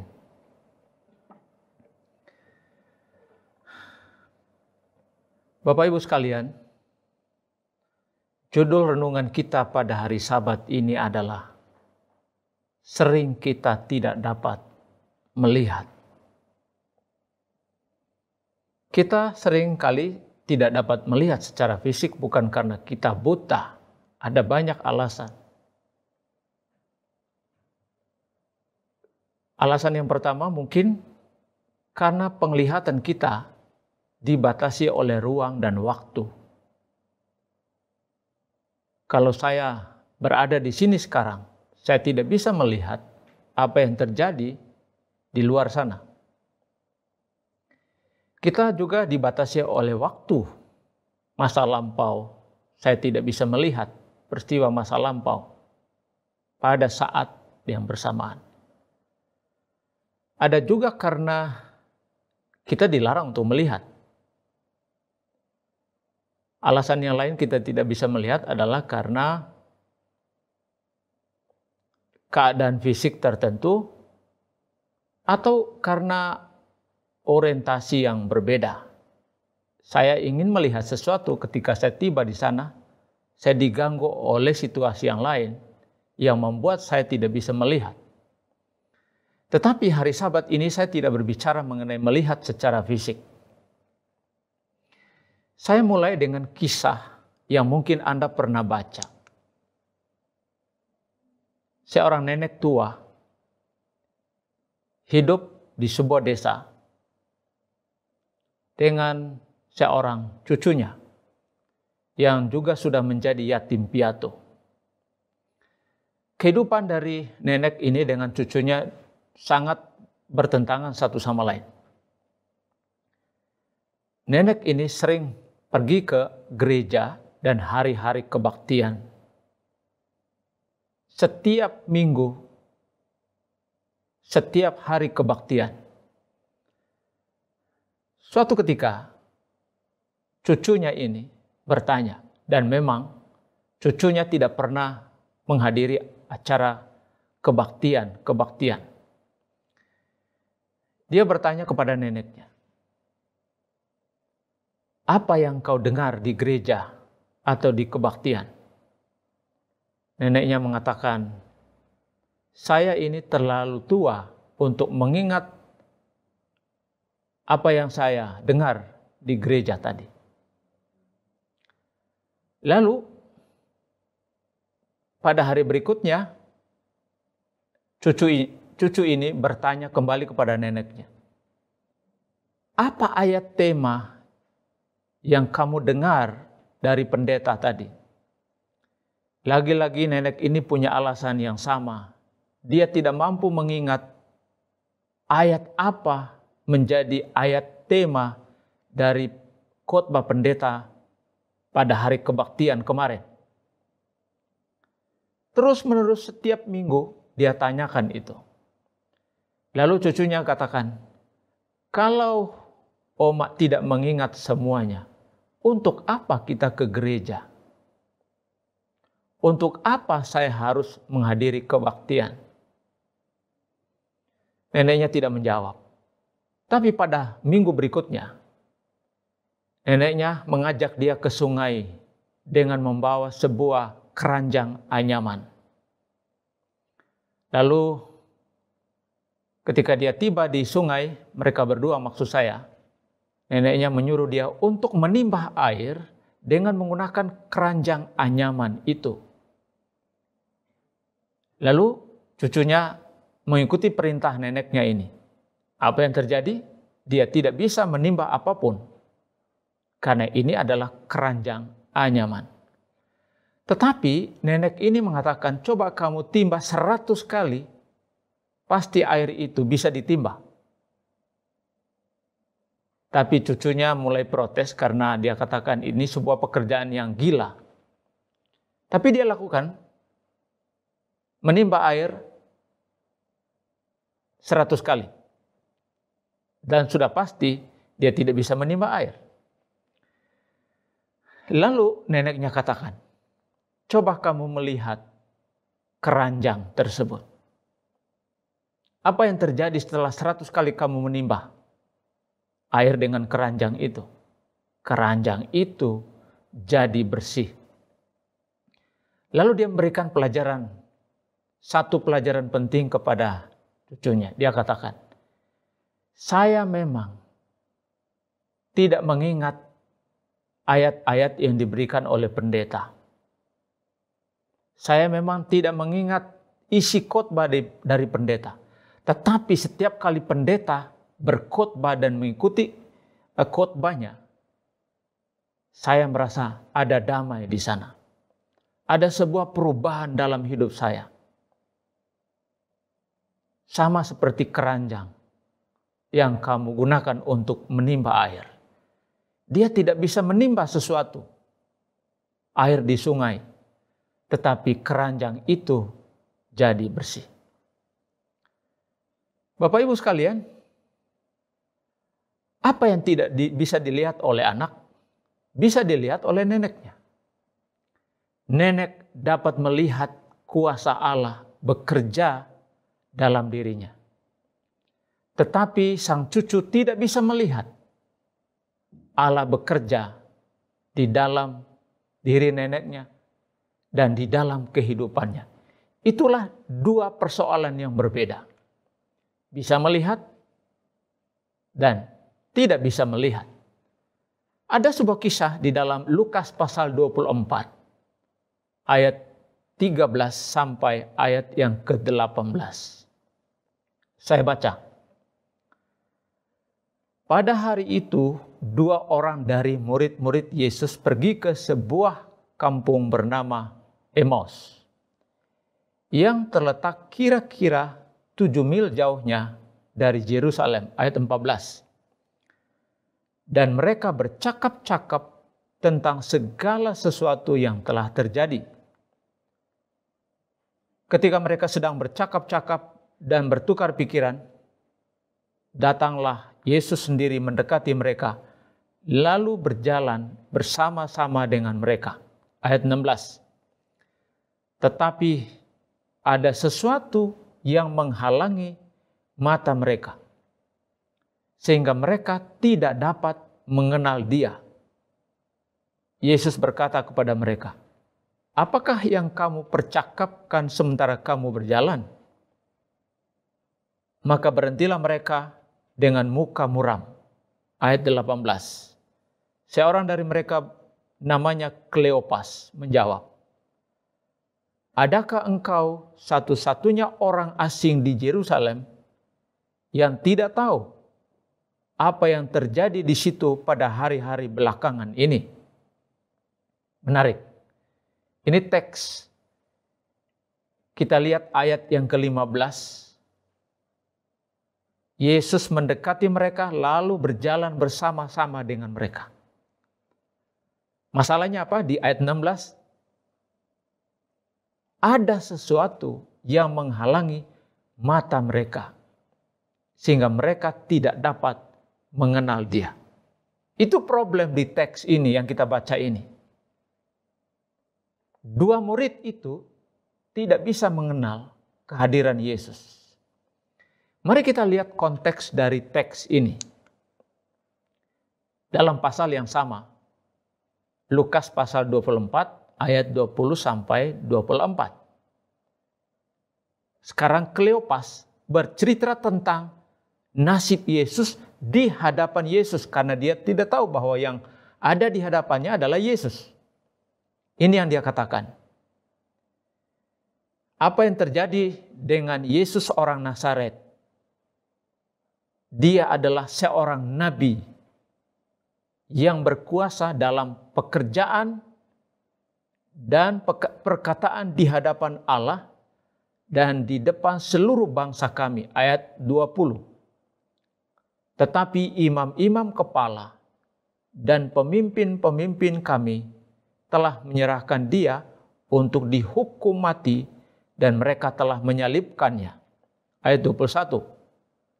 Padahal kami dulu mengharapkan bahwa dialah yang datang untuk membebaskan bangsa Israel.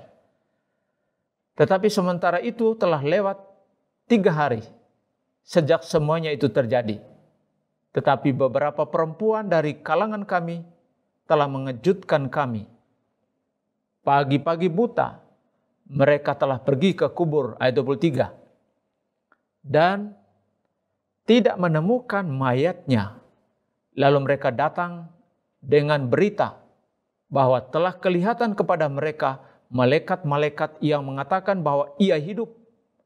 Dan beberapa teman kami telah pergi ke kubur itu dan mendapati bahwa memang benar yang dikatakan perempuan-perempuan itu. Tetapi dia tidak mereka lihat konteksnya apa tadi kita di ayat 15 dan 16, konteksnya adalah murid-murid Yesus baru saja kehilangan Tuhan mereka. Mereka tahu bahwa Yesus sudah mati. Tetapi ada informasi bahwa dia bangkit. Itu yang diceritakan oleh Kleopas kepada Yesus. Dan ayat 21 mengatakan, padahal kami dahulu mengharapkan bahwa dialah yang datang untuk membebaskan bangsa Israel. Jadi mereka kehilangan sang Tuhan. Mereka kehilangan pegangan hidup. Yesus telah pergi, dia meninggal, dan kemudian dia bangkit. Pertanyaan kita adalah, apa yang menyebabkan murid-murid tidak melihat termasuk Kleopas tidak melihat kehadiran Yesus. Saya baca ulang ayat yang ke-15.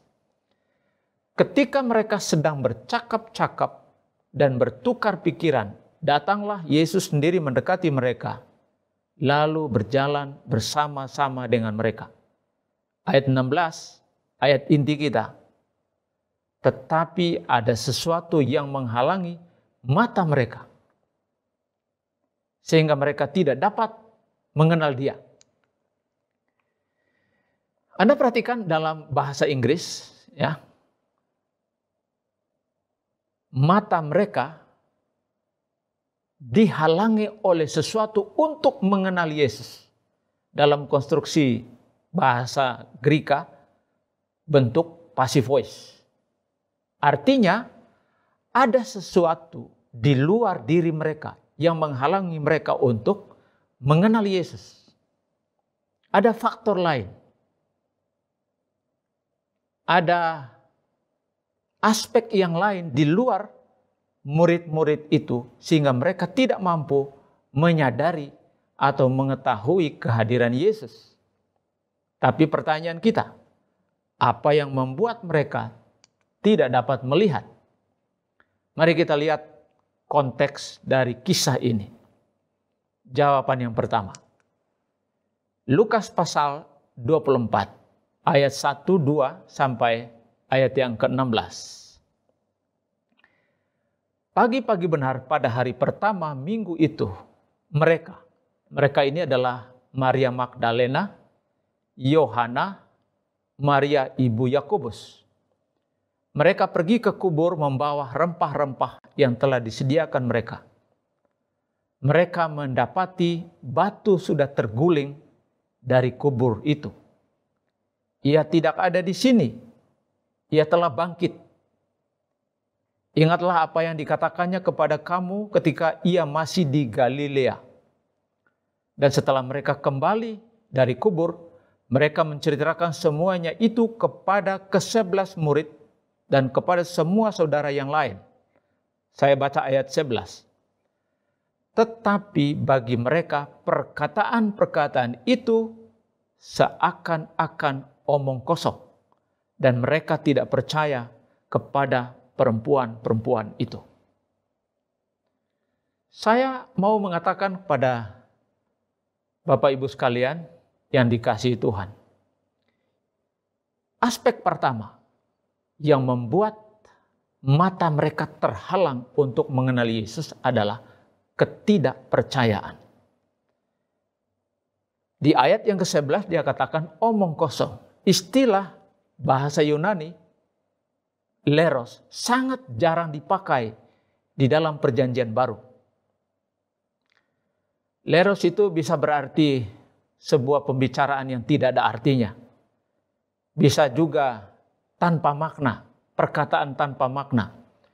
Leros juga bisa berarti talk aktif, cerewet. Dan kebetulan yang menyampaikan berita ini adalah perempuan-perempuan. Apa yang membuat murid-murid tidak percaya? Isi dari beritanya bahwa Yesus bangkit. Mereka tidak percaya pada perkataan-perkataan perempuan. Mungkin juga alasan lain mereka tidak percaya karena memang masyarakat Yahudi penganut paternalistik. Mereka mengagungkan gender laki-laki ya lebih dipercayai daripada perempuan. Tetapi intinya adalah para murid tidak percaya akan berita bahwa Yesus bangkit. Jadi itulah alasan yang pertama. Sampai pada poin ini, kita sebagai orang Kristen sering terjebak dalam ketidakpercayaan. Saya tidak berbicara mengenai kita datang ke gereja pada hari Sabat. Saya tidak berbicara mengenai berapa kali secara uh, kuantitas kita berdoa. Tetapi ketidakpercayaan ada di antara orang-orang yang datang ke gereja. Ada di antara orang-orang yang sering berdoa. Pada poin tertentu dari kehidupan seseorang, kita terjebak dalam ketidakpercayaan yang membuat para murid tidak mampu melihat kehadiran Yesus. Itu alasan pertama. Alasan yang kedua, saya baca ayat 20 dan 21. Dia adalah seorang nabi yang berkuasa dalam pekerjaan dan perkataan di hadapan Allah dan di depan seluruh bangsa kami. Ayat 20. Tetapi imam-imam kepala dan pemimpin-pemimpin kami telah menyerahkan dia untuk dihukum mati. Dan mereka telah menyalibkannya. Ayat 21, Padahal kami dahulu mengharapkan bahwa dialah yang datang untuk membebaskan bangsa Israel. Bapak Ibu sekalian, saya sebutkan di sini salah satu penyebab mengapa para muridnya tidak dapat melihat Yesus adalah karena disorientasi. Apa itu disorientasi? Mereka kehilangan konsep yang benar tentang kedatangan Kristus, misi Yesus. Mereka baca, mereka bukan tidak tahu, mereka tahu bahwa Yesus yang mereka baca di Perjanjian Lama, khususnya Kitab Yesaya, mereka tahu persis apa tujuan Yesus datang ke dunia ini. Tetapi oleh karena tujuan politik, maka orientasi itu disalah mengerti oleh para muridnya. Anda baca ayat 21. Padahal kami dahulu mengharapkan bahwa dialah yang datang untuk membebaskan bangsa Israel dari tekanan politik secara fisik.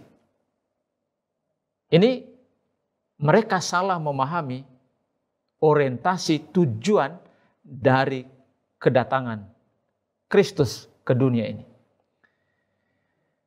Seringkali juga kita terjebak pada poin yang kedua, disorientasi. Saya kasih contoh sederhana ya. Ibu-ibu pergi ke mall dengan tujuan untuk membeli sesuatu. Tetapi karena kita banyak melihat sesuatu yang lain, maka sering kali yang diutamakan bukan tujuan kita pada mulanya untuk membeli sesuatu. Kita kehilangan tujuan untuk membeli sesuatu karena ada banyak hal yang kita lihat. Nah, itu disebut dengan disorientasi tujuan. Saya bawa konsep ini pada kehidupan kekristenan kita. Kita tahu tujuan hidup orang Kristen itu menjadi berkat bagi orang lain. Tapi oleh karena situasi, oleh karena keserakahan kita, maka kita, tujuan kita mengalami disorientasi. Kita terjebak dalam paradigma ini. Dan ini dialami oleh para rasul. Mereka tidak mampu melihat Yesus karena mereka salah paham tentang misi dan tujuan Yesus. Itulah alasan yang kedua yang membuat murid-muridnya tidak mampu melihat Yesus waktu dia hadir. Alasan yang ketiga, saya baca ayat 25. Lalu ia berkata kepada mereka, Hai kamu orang bodoh, betapa lambannya hatimu sehingga kamu tidak percaya segala sesuatu yang telah dikatakan para nabi. Bukankah Mesias harus menderita semuanya itu untuk masuk ke dalam kemuliaannya? Lalu ia menjelaskan kepada mereka apa yang tertulis tentang dia dalam seluruh kitab suci. Mulai dari kitab-kitab Musa dan segala kitab nabi-nabi. Perhatikan. Yesus mengidentifikasi orang tidak percaya itu sama dengan orang bodoh. Dan ketidakpercayaan itu lahir dari para muridnya menderita. Menderita kesepian. Menderita karena ditinggalkan. Mereka berada di bawah situasi intimidasi politik Roma karena kehilangan sang guru. Ayat yang ke-26 katakan, bukankah Mesias harus menderita? Semuanya itu untuk masuk ke dalam kemuliaannya.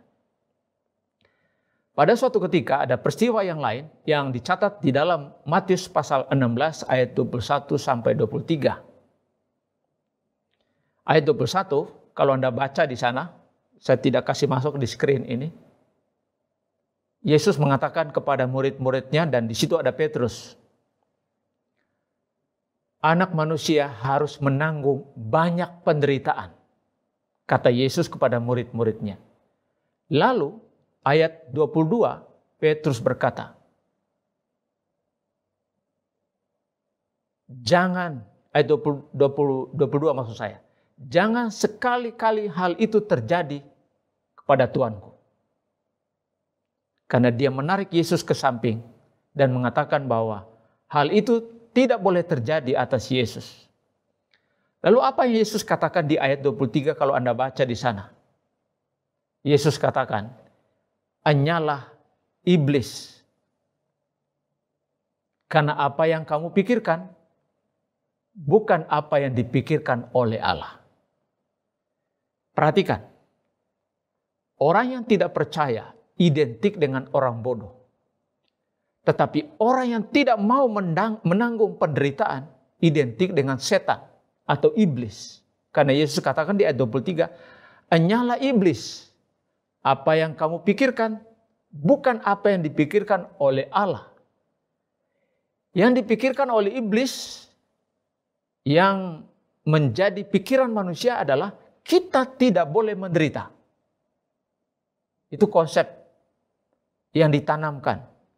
Indoktrinasi yang menghantui, menghantui pikiran manusia. Jadi saya tidak boleh menderita.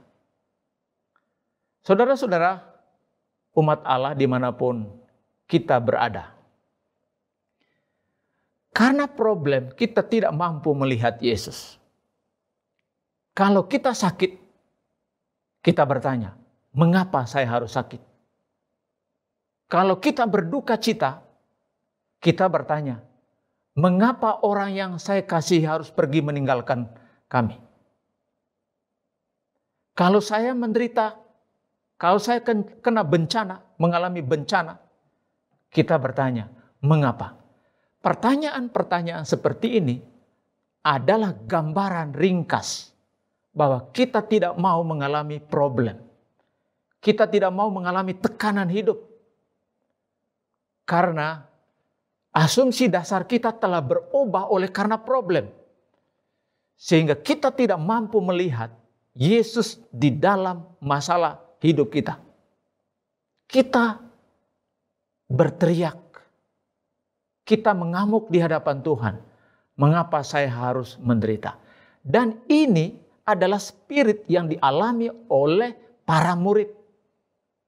Inilah alasannya mengapa mereka tidak mampu melihat Yesus, melihat kehadirannya. Saudara-saudaraku sekalian dalam kehidupan yang real setiap hari sebagai orang Kristen, kita terjebak di salah satu dari tiga faktor tadi itu. Yang pertama, ketidakpercayaan kita kepada Tuhan. Yang kedua, karena problem yang kita hadapi. Dan yang ketiga adalah disorientasi. Dunia kita, di mana kita berada ini, selalu membuat kita mengalami uh, disorientasi. Dan problem itu selalu datang setiap hari. Dan itulah penyebab Mengapa orang tidak mampu melihat Yesus dalam perjalanan-perjalanan yang sukar?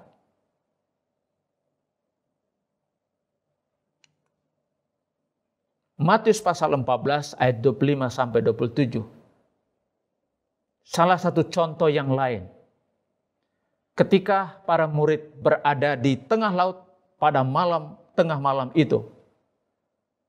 Sorenya mereka masih mendengar ajaran Yesus di pinggir pantai Tiba-tiba di tengah malam dan di tengah badai itu Yesus hadir dan berjalan di atas laut. Saya baca ayat 25 sampai 27. Perahu murid-muridnya sudah beberapa mil jauhnya dari pantai dan diombang-ambingkan gelombang. Karena angin sakal. Kira-kira jam 3 malam datanglah Yesus kepada mereka berjalan di atas air. Perhatikan frase berikut ini. Ketika murid-muridnya melihat dia berjalan di atas air, mereka terkejut dan berseru, "Itu hantu!" Lalu berteriak-teriak karena takut. Ini sesuatu yang bagi kita pembaca modern, kok aneh? Baru aja ketemu Yesus di pinggir pantai dan mendengar Yesus menyampaikan khotbah kepada orang banyak. Suaranya mereka dengar. bentuk fisiknya mereka eh, mereka lihat. Sekarang tiba-tiba Yesus hadir di tengah mereka, tentu saja dalam situasi yang lain, konteks yang lain, dan mereka mengatakan itu hantu. Pertanyaan, mengapa para murid itu tidak mampu melihat Yesus? Karena mereka berfokus pada problem. Problemlah yang membuat mereka tidak dapat mengetahui kehadiran Yesus. Pengalaman Petrus ini dan para muridnya adalah juga pengalaman kekristenan kita pada zaman modern ini. Kita tidak mampu melihat kehadirannya. Tapi dalam kisah Lukas pasal 24 ayat 30 sampai 32 akhirnya para murid melihat Yesus. Waktu ia duduk makan dengan mereka, ia mengambil roti, mengucapkan berkat, lalu memecah-mecahkannya dan memberikannya kepada mereka. Ayat 31, ketika itu terbukalah mata mereka. Perhatikan, ketika itu terbukalah mata mereka dan mereka pun mengenal dia. Tetapi ia lenyap dari tengah-tengah mereka. Ayat 32. Kata mereka seorang kepada yang lain, Bukankah hati kita berkobar-kobar ketika ia berbicara dengan kita di tengah jalan dan ketika ia menerangkan kitab suci kepada kita? Jadi ketika Yesus mengulangi kembali cara dia membagikan roti di ruangan atas sebelum dia meninggal, mati, dia ulang lagi di hadapan mereka, barulah mereka tahu bahwa dia adalah Yesus. Di ayat 31, ketika itu terbukalah mata mereka dan mereka pun mengenal dia. Lalu di ayat 32, teks ini mengatakan, bukankah hati kita berkobar-kobar? Kalau bicara mengenai hati berkobar-kobar, berarti berbicara mengenai sesuatu yang sangat internal. Sangat paling dalam. Sangat paling dalam. Apa problem dengan para murid? Mereka tidak mendengar suara hati mereka bahwa ini adalah Yesus. Saudara-saudaraku sekalian, saya mau mungkin Anda pernah baca kisah ini mau mengatakan kisah ini, kisah dari mantan Perdana Menteri Inggris, Winston Churchill. Kisahnya ini yang saya baca. Suatu ketika, Winston, Perdana Menteri Inggris ini, dia harus menghadiri wawancara di kantor BBC London. Dan dia mengambil keputusan untuk pergi ke wawancara itu naik taksi. Ketika tiba di sana, sang Perdana Menteri berkata kepada sopir taksi, bolehkah kamu menunggu 40 menit saya diwawancarai dan kemudian hantar saya pulang. Lalu sang sopir berkata, Pak, hari ini saya mau mendengar pidato Perdana Menteri Winston Churchill dari rumah. Dan sopir ini tidak tahu bahwa itu adalah Perdana Menterinya. Dan Winston Churchill ini merasa berbangga karena setiap kali pidato yang dia sampaikan, banyak sekali orang yang menonton. Lalu sang Perdana Menteri berkata kepadanya, bolehkah saya kamu tunggu untuk 40 menit saja. Sang sopir tentu saja berkeberatan karena dia ingin mendengar pidato sang Perdana Menteri. Lalu, sang Perdana Menteri mengeluarkan uang 20 pound sterling. Pada zaman itu, 20 pound sterling itu cukup besar bagi seorang sopir taksi ketika sang sopir ini menerima 20 pound sterling, dia merasa ini eh, jumlah uang yang cukup banyak yang dia terima hari itu. Dan dia mengatakan kepada uh, Winston Churchill, Pak, saya akan mau menunggu berjam-jam di sini. Persetan dengan tuh Winston Churchill. Apa poinnya? Poinnya adalah uang telah mengubah orientasi seseorang. Mungkin bukan uang, mungkin aspek yang lain, mungkin kedudukan, mungkin nama besar. Sangat cepat mengubah persepsi kita, mengubah paradigma kita, mengubah cara pandang kita pada dunia. Uang. Sopir ini mau menunggu sang Winston Churchill ini yang dia tidak tahu itu adalah Perdana Menteri. Hanya karena uang. Dia tidak mau mendengar pidatonya hanya karena uang.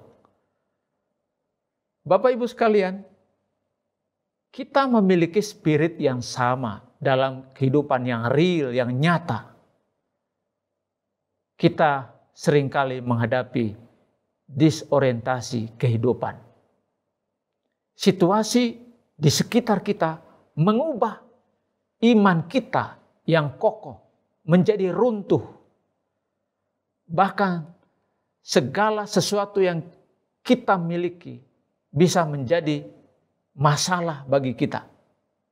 Karena kita mengubah arah dari kehidupan kita. Kita sering terjebak dalam pengalaman seperti ini. Itulah sebabnya Yesus mengatakan secara sederhana, to the point, meringkas semua konsep iman orang-orang Kristen dan orang-orang Yahudi pada zaman perjanjian lama dengan pernyataan ini. Matius pasal 22 ayat 37.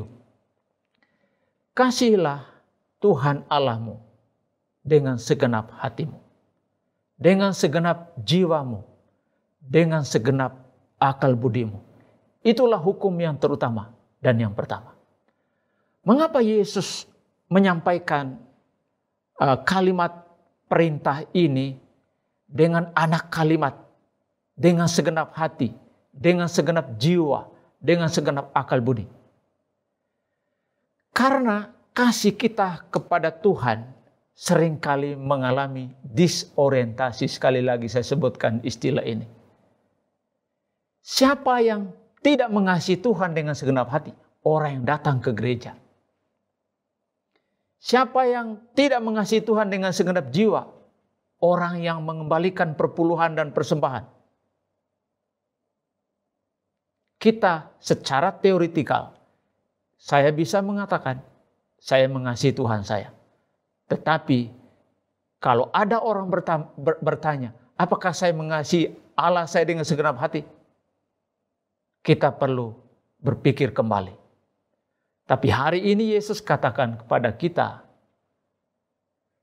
kasihlah Tuhan Allahmu dengan segenap hatimu, dengan segenap jiwamu, dan dengan segenap akal budimu. Itulah hukum yang terutama dan yang pertama.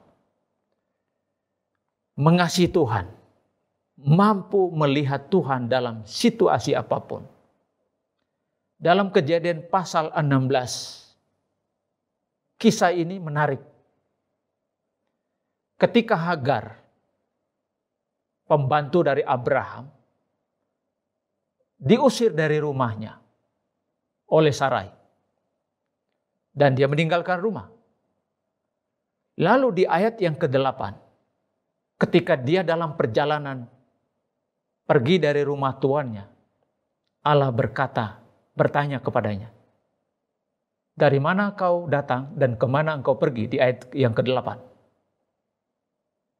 Dan dia menjawab, ayat yang ke-9, aku telah melarikan diri dari rumah tuanku. Dan perhatikan kalau Anda baca di ayat yang ke-10. Tuhan berkata kepada Sarai, biarkanlah kamu mengalami penindasan. Kembalilah ke rumah Tuhanmu.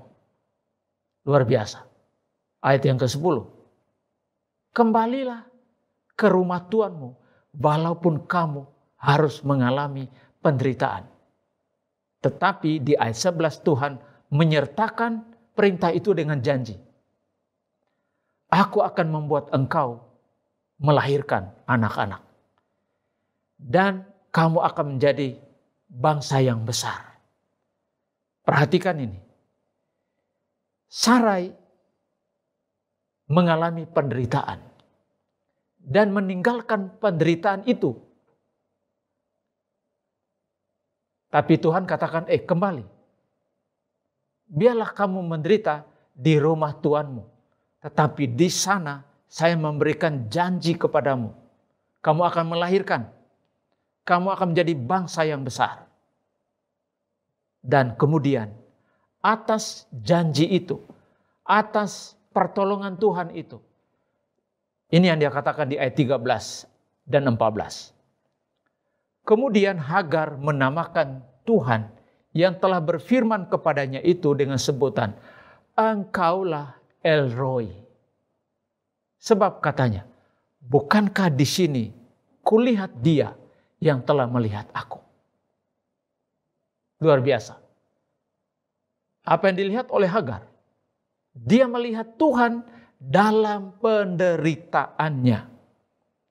El itu Tuhan, Roy itu dari kata ra'ah dalam bahasa Hebrew, melihat. El Roy artinya Allah melihat. Allah melihat Hagar artinya Allah memelihara Hagar dalam penderitaannya. Engkaulah El Roy. Bukankah di sini kulihat dia yang telah melihat aku? kata kerja yang sama digunakan. Dari kata Elroy tadi itu sekarang, kulihat dia yang telah melihat aku. Jadi Hagar dalam penderitaannya, dia melihat Tuhan yang melihat dia. Ada permainan kata di sini. Di sini kulihat Tuhan yang melihat aku. Subjek Tuhan kalau subjek Tuhan yang digunakan untuk kata kerja melihat, berarti dia memelihara Hagar. Dia melihat Hagar, artinya dia memelihara Hagar sejak saat itu, walaupun ia mengalami penderitaan. Ini seharusnya iman yang ideal yang diharapkan oleh Allah dari kita sebagai pengikutnya, sebagai orang Kristen Saudara-saudaraku sekalian, apa panggilan untuk kita?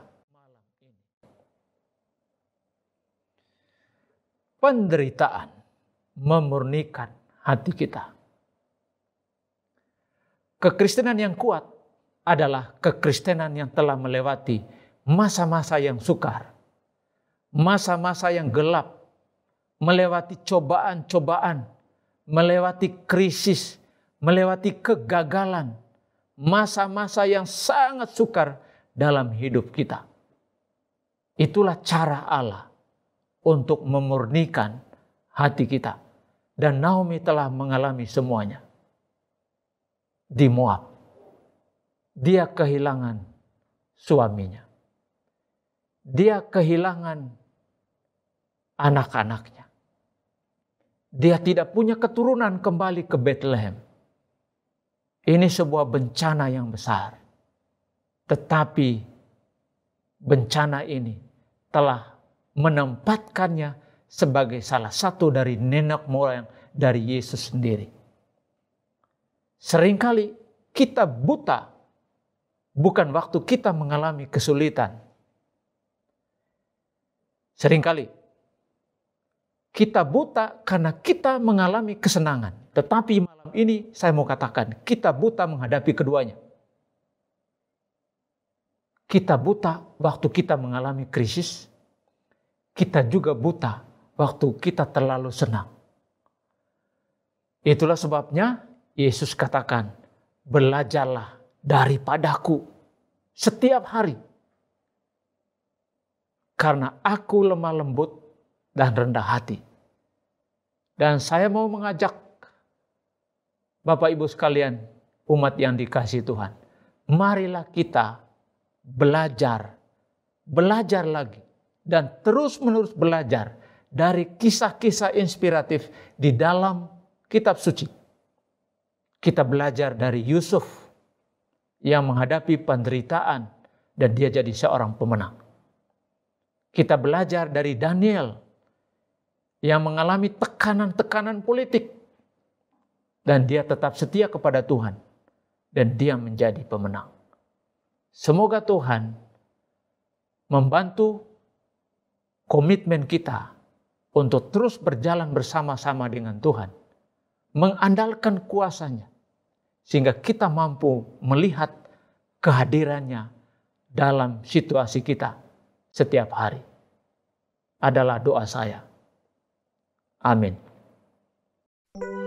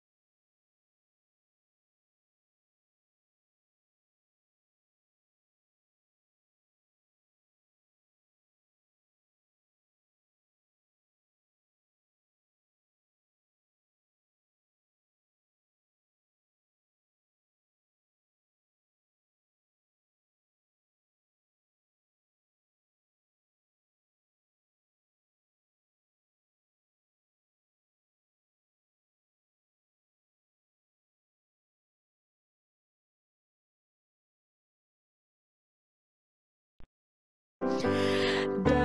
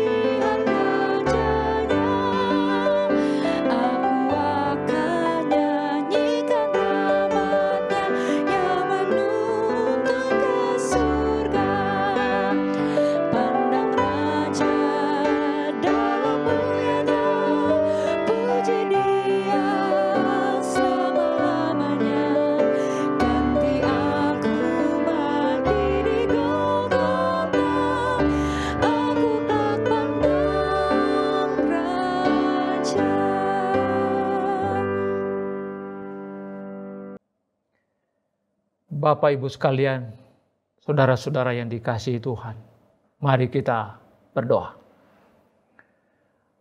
Bapa Surgawi, Allah yang kekal, terpujilah namamu, karena engkau adalah Allah yang setia, setia berjalan bersama-sama dengan kami setiap hari dalam situasi kami masing-masing.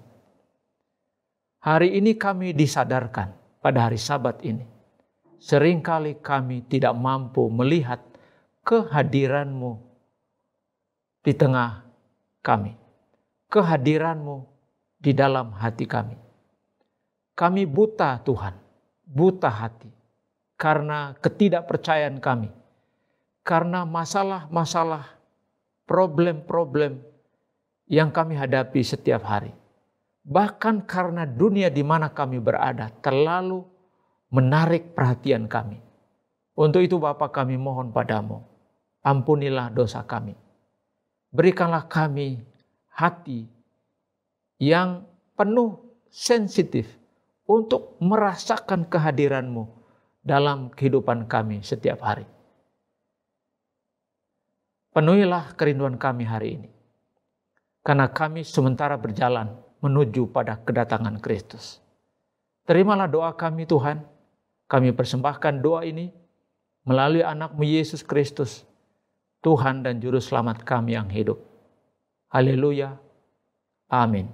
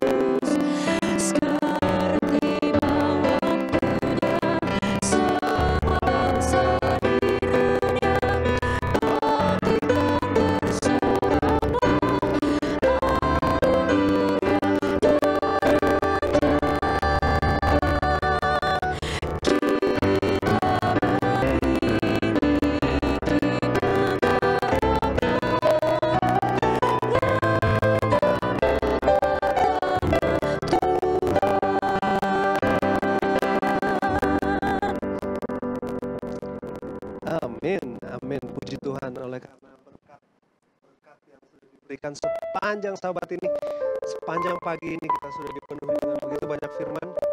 Dan pada siang hari ini adalah waktu bagi kita untuk menikmati bersama dengan keluarga kita ya, di mana pun berada, ada di rumah, di perjalanan ataupun di mana pun saudara saya berada. Saat ini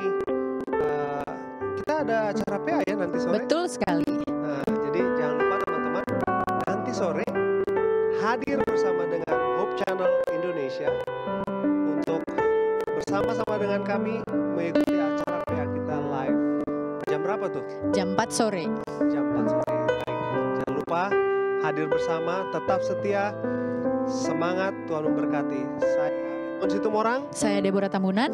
bersama pianis kami Kevin Watimena mengucapkan selamat sahabat Tuhan memberkati.